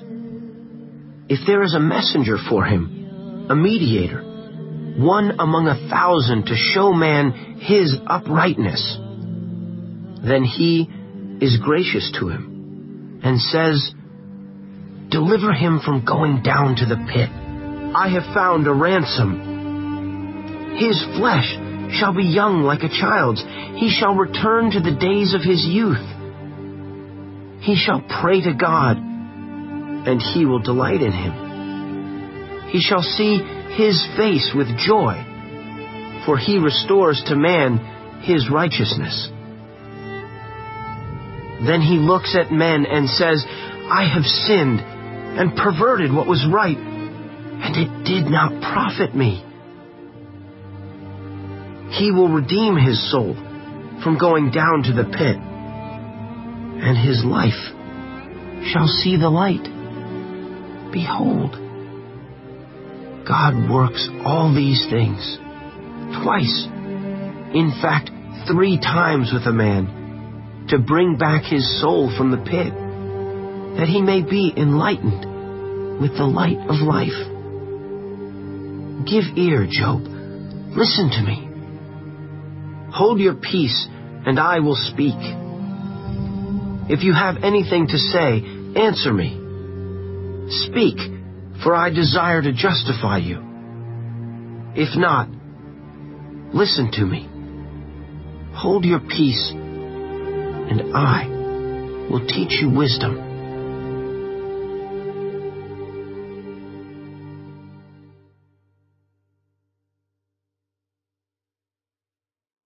Elihu further answered,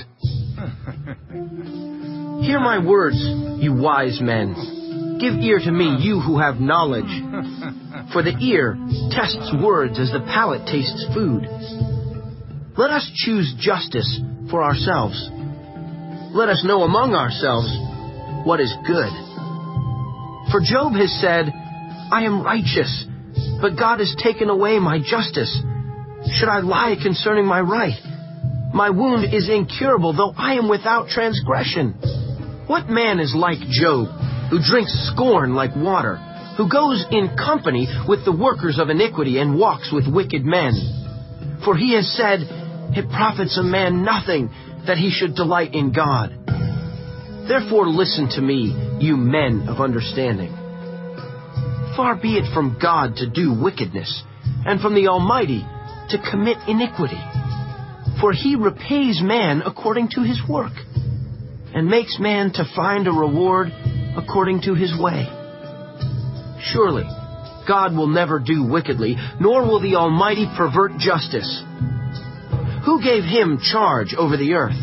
Or who appointed him over the whole world?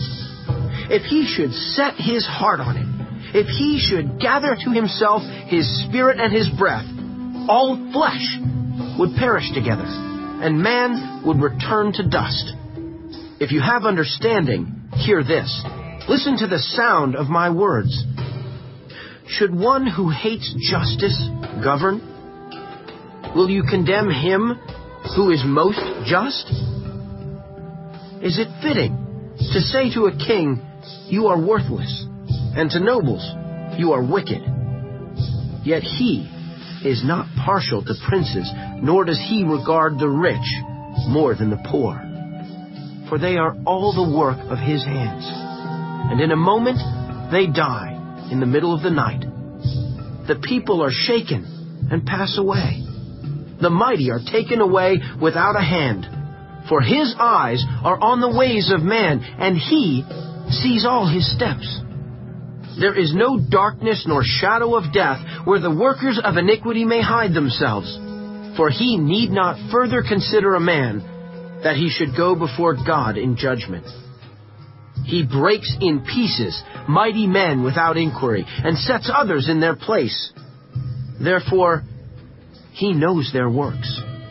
He overthrows them in the night, and they are crushed.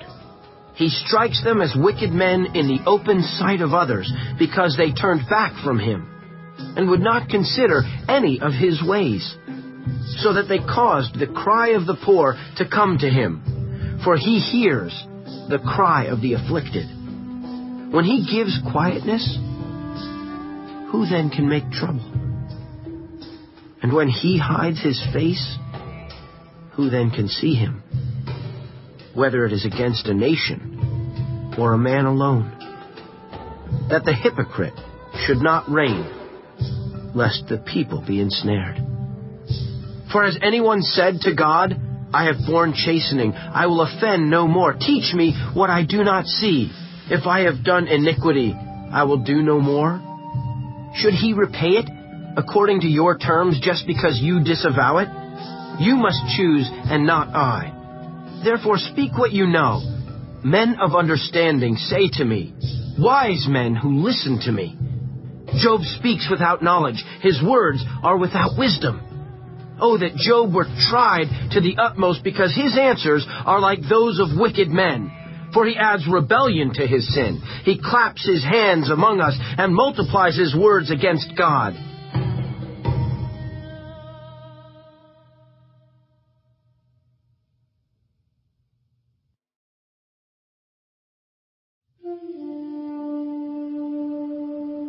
You think this is right? Do you say, My righteousness is more than God's? For you say, What advantage will it be to you?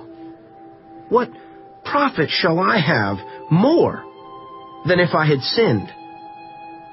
I will answer you, and your companions with you.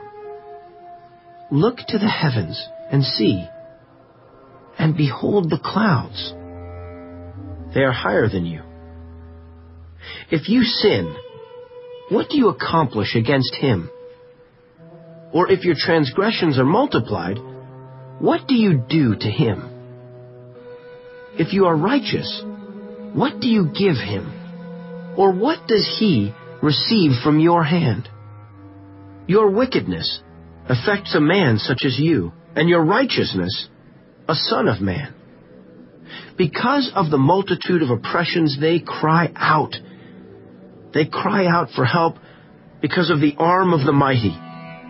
But no one says, Where is God, my Maker, who gives songs in the night, who teaches us more than the beasts of the earth, and makes us wiser than the birds of heaven? There they cry out, but he does not answer, because of the pride of evil men.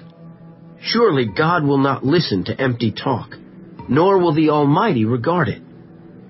Although you say you do not see him, yet justice is before him, and you must wait for him. And now, because he has not punished in his anger, nor taken much notice of folly, therefore Job opens his mouth in vain.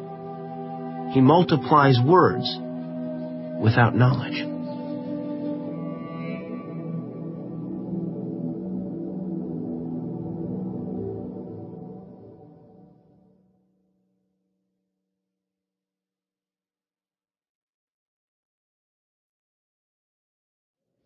Elihu also proceeded and said, Bear with me a little, and I will show you that there are yet words to speak on God's behalf.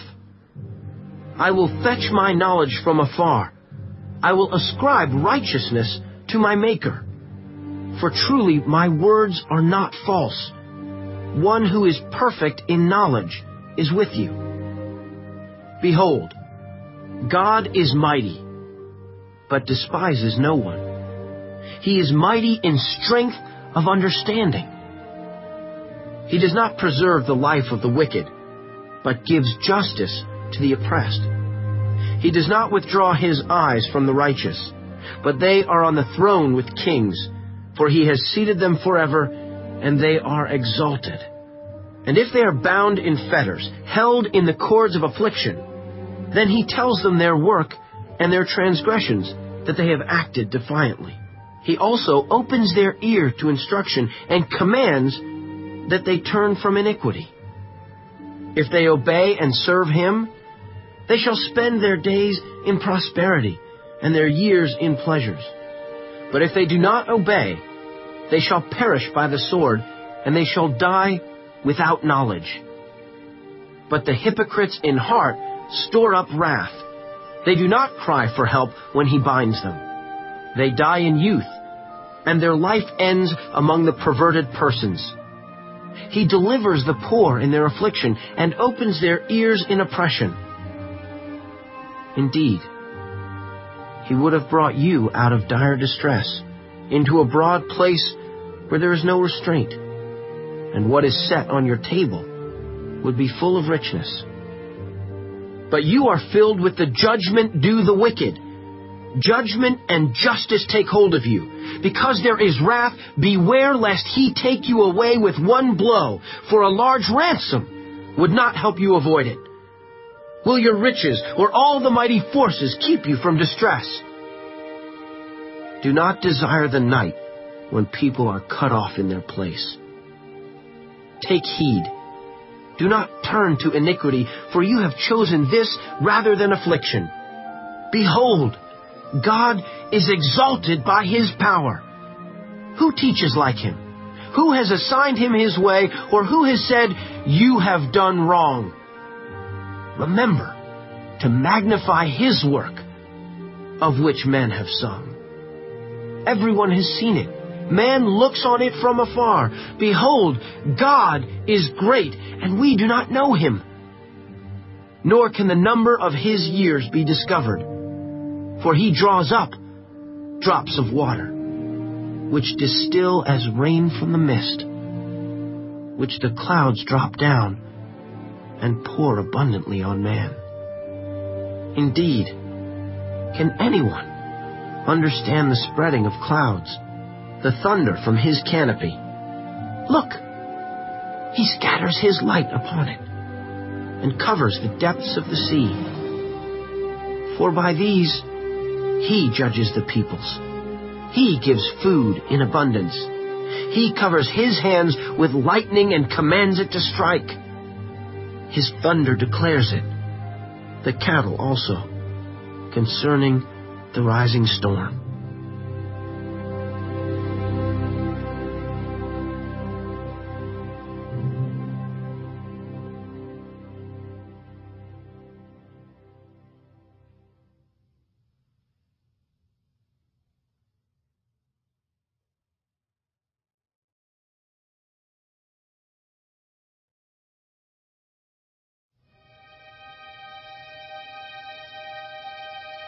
At this also my heart trembles and leaps from its place.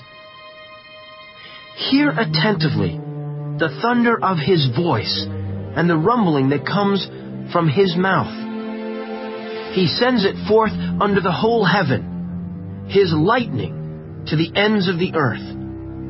After it, a voice roars. He thunders with his majestic voice, and he does not restrain them when his voice is heard. God thunders marvelously with his voice. He does great things which we cannot comprehend. For he says to the snow, Fall on the earth. Likewise, to the gentle rain and the heavy rain of his strength he seals the hand of every man, that all men may know his work. The beasts go into dens and remain in their lairs. From the chamber of the south comes the whirlwind, and cold from the scattering winds of the north. By the breath of God, ice is given, and the broad waters are frozen. Also with moisture he saturates the thick clouds. He scatters his bright clouds. And they swirl about, being turned by his guidance, that they may do whatever he commands them on the face of the whole earth. He causes it to come, whether for correction, or for his land, or for mercy. Listen to this, O Job. Stand still and consider the wondrous works of God. Do you know when God dispatches them and causes the light of His cloud to shine? Do you know how the clouds are balanced? Those wondrous works of Him who is perfect in knowledge. Why are your garments hot when He quiets the earth by the south wind? With Him have you spread out the skies, strong as a cast metal mirror? Teach us what we should say to him, for we can prepare nothing because of the darkness. Should he be told that I wish to speak? If a man were to speak, surely he would be swallowed up. Even now, men cannot look at the light when it is bright in the skies, when the wind has passed and cleared them. He comes from the north as golden splendor. With God, His awesome majesty. As for the Almighty, we cannot find Him. He is excellent in power, in judgment, and abundant justice. He does not oppress. Therefore, men fear him. He shows no partiality to any who are wise of heart.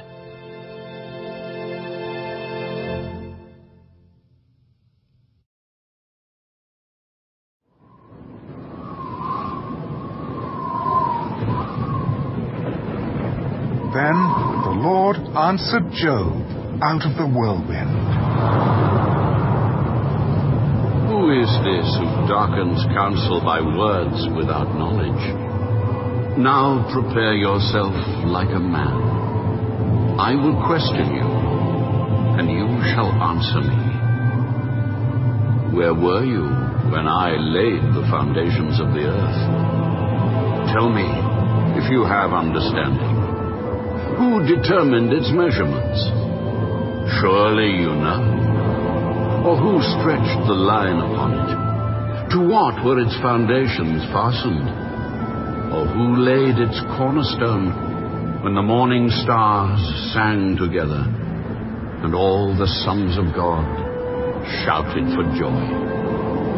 Or who shut in the sea with doors when it burst forth and issued from the womb?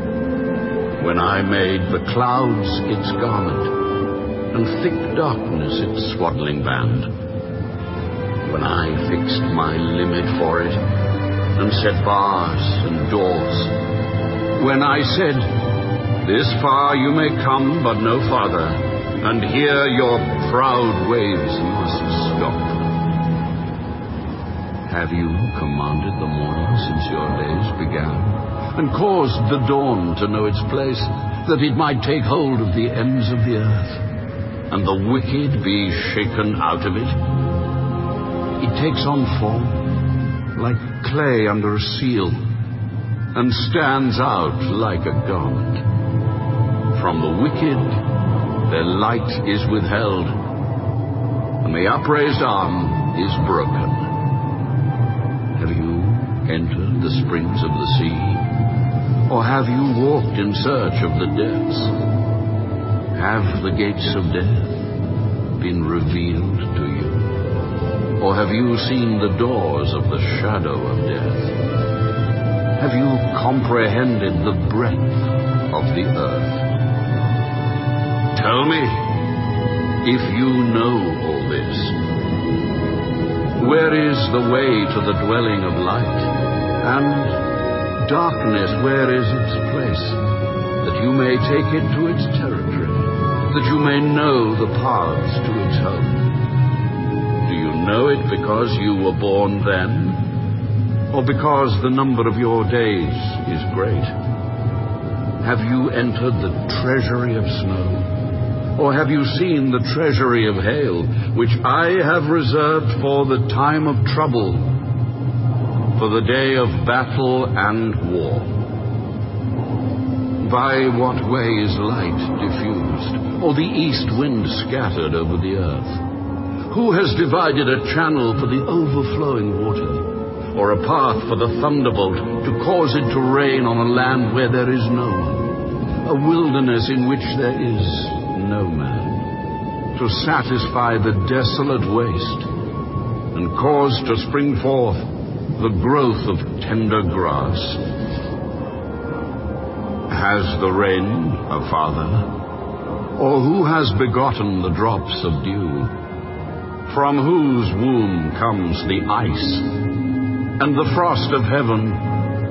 Who gives it birth? The waters harden like stone, and the surface of the deep is frozen. Can you bind the cluster of the Pleiades, or loose the belt of Orion? Can you bring out Mazzaroth in its season? Or can you guide the great bear with its cubs? Do you know the ordinances of the heavens? Can you set their dominion over the earth? Can you lift up your voice to the clouds, that an abundance of water may cover you? Can you send out lightnings that they may go and say to you, Here we are? Who has put wisdom in the mind? Or who has given understanding to the heart? Who can number the clouds by wisdom? Or who can pour out the bottles of heaven when the dust hardens in clumps and the clods cling together? Can you hunt the prey for the lion, or satisfy the appetite of the young lions when they crouch in their dens or lurk in their lairs to lie in wait? Who provides food for the raven when its young ones cry to God and wander about for lack of food?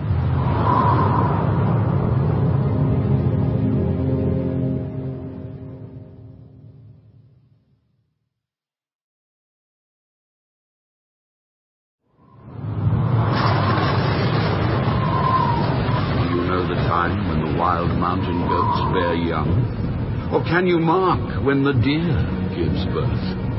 Can you number the months that they fulfill? Or do you know the time when they bear young? They bow down, they bring forth their young, they deliver their offspring. Their young ones are healthy, they grow strong with grain, they depart and do not return to them. Who set the wild donkey free? Who loosed the bonds of the onager, whose home I have made the wilderness, and the barren land his dwelling? He scorns the tumult of the city. He does not heed the shouts of the driver. The range of the mountains is his pasture, and he searches after every green thing. Will the wild ox be willing to serve you? Will he bed by your manger? Can you bind the wild ox in the furrow with ropes? Or will he plow the valleys behind you? Will you trust him because his strength is great? Or will you leave your labor to him? Will you trust him to bring home your grain and gather it to your threshing floor? The wings of the ostrich wave proudly but are her wings and pinions like the kindly storks? For she leaves her eggs on the ground and warms them in the dust. She forgets that a foot may crush them, or that a wild beast may break them. She treats her young harshly, as though they were not hers. Her labor is in vain, without concern because God deprived her of wisdom and did not endow her with understanding. When she lifts herself on high, she scorns the horse and its rider. Have you given the horse strength? Have you clothed his neck with thunder? Can you frighten him like a locust? His majestic snorting strikes terror. He paws in the valley and rejoices in his strength. He gallops into the clash of arms. He mocks at fear and is not frightened, nor does he turn back from the sword. The quiver rattles against him, the glittering spear and javelin. He devours the distance with fierceness and rage, nor does he come to a halt because the trumpet has sounded. At the blast of the trumpet, he says, Aha! He smells the battle from afar, the thunder of captains and shouting. Does the hawk fly by your wisdom and spread its wings toward the south? Does the eagle mount up at your command and make its nest on high? On the rock it dwells and resides, on the crag of the rock and the stronghold. From there it spies out the prey its eyes observe from afar. Its young ones suck up blood. And where the slain are, there it is.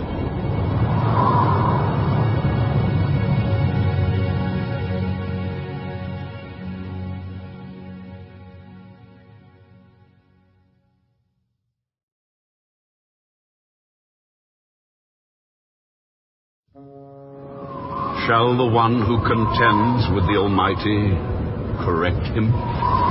He who rebukes God, let him answer it. And Job answered the Lord Behold, I am vile. What shall I answer you? I lay my hand over my mouth. Once I have spoken, but I will not answer. Yes, twice, but I will proceed no further. Then the Lord answered Job out of the whirlwind. Now prepare yourself like a man. I will question you, and you shall answer me. Would you indeed annul my judgment? Would you condemn me that you may be justified? Have you an arm like God? Or can you thunder with a voice like his? Then adorn yourself with majesty and splendor, and array yourself with glory and beauty. disperse the rage of your wrath. Look on everyone who is proud, and humble him. Look on everyone who is proud, and bring him low. Tread down the wicked in their place. Hide them in the dust together. Bind their faces in hidden darkness. Then I will also confess to you that your own right hand can save you. Look now at the behemoth which I made along with you. He eats grass like an ox. See now his strength is in his hips, and his power is in his stomach muscles. He moves his tail like a cedar. The sinews of his thighs are tightly knit. His bones are like beams of bronze, his ribs like bars of iron. He is the first of the ways of God. Only he who made him can bring near his sword. Surely the mountains yield food for him, and all the beasts of the field play there. He lies under the lotus trees in a covert of reeds and marsh. The lotus trees cover him with their shade. The willows by the brook surround him. Indeed, the river may rage, yet he is not disturbed. He is confident, though the Jordan gushes into his mouth, though he takes it in his eyes, or one pierces his nose with a snare.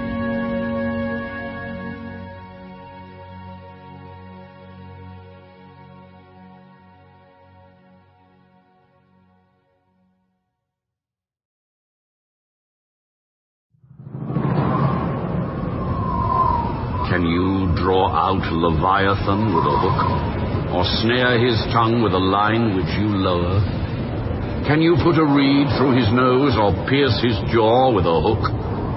Will he make many supplications to you? Will he speak softly to you? Will he make a covenant with you? Will you take him as a servant forever? Will you play with him as with a bird? Or will you leash him for your maidens? Will your companions make a banquet of him?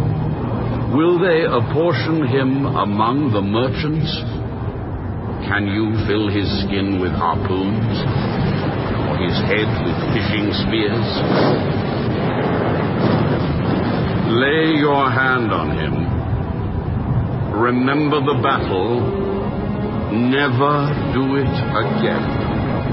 Indeed, any hope of overcoming him is false. Shall one not be overwhelmed at the sight of him? No one is so fierce that he would dare stir him up. Who then is able to stand against me? Who has preceded me that I should pay him? Everything under heaven is mine. I will not conceal his limbs, his mighty power, or his graceful proportions. Who can remove his outer coat? Who can approach him with a double bridle? Who can open the doors of his face with his terrible teeth all around? His rows of scales are his pride, shut up tightly as with a seal. One is so near another that no air can come between them. They are joined one to another.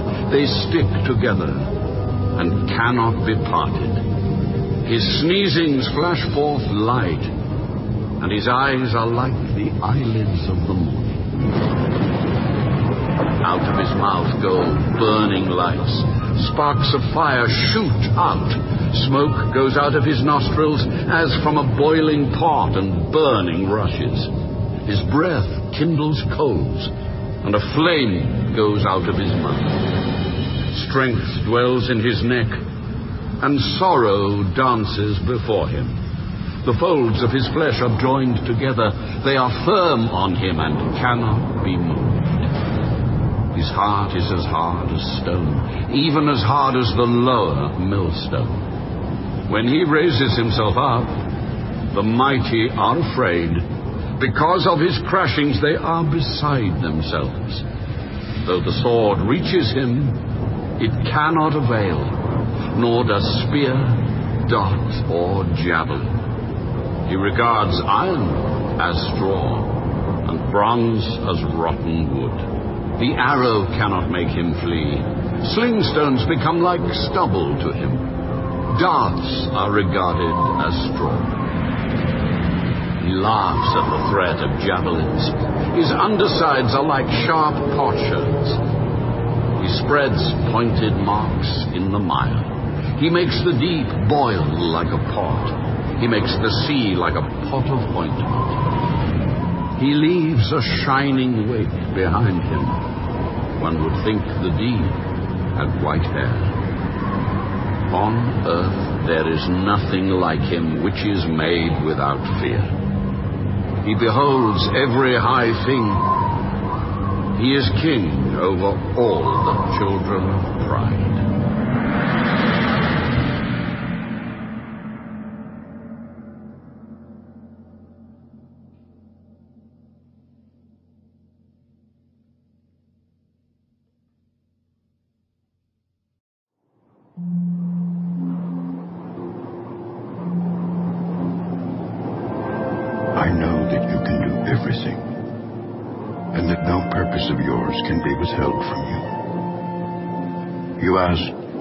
Who is this who hides counsel without knowledge?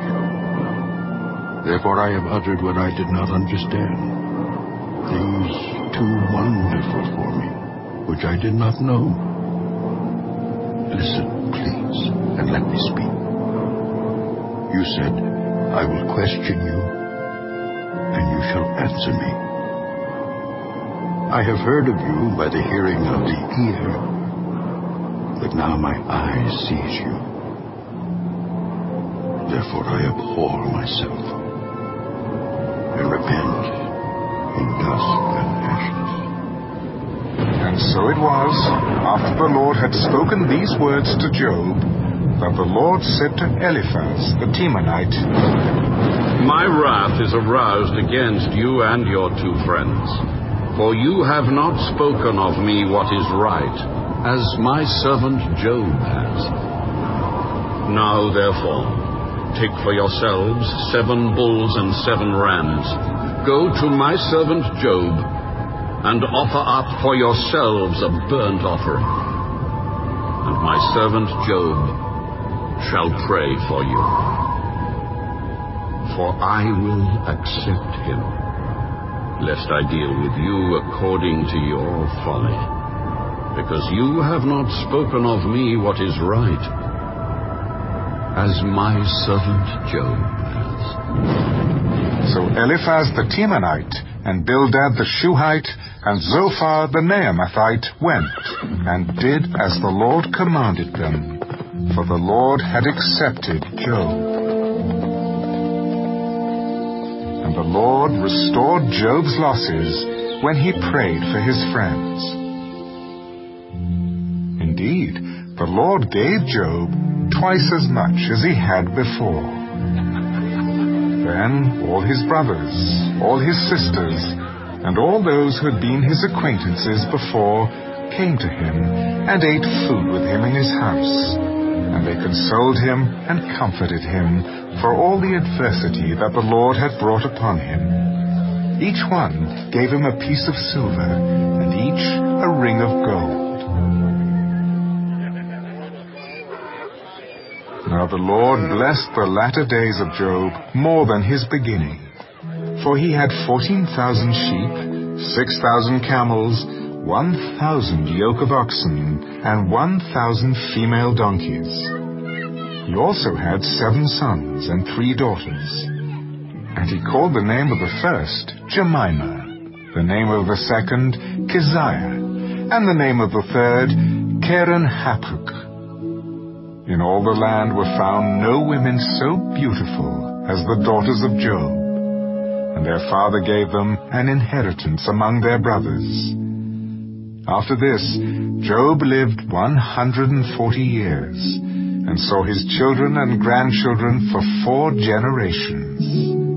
So Job died old and full of days.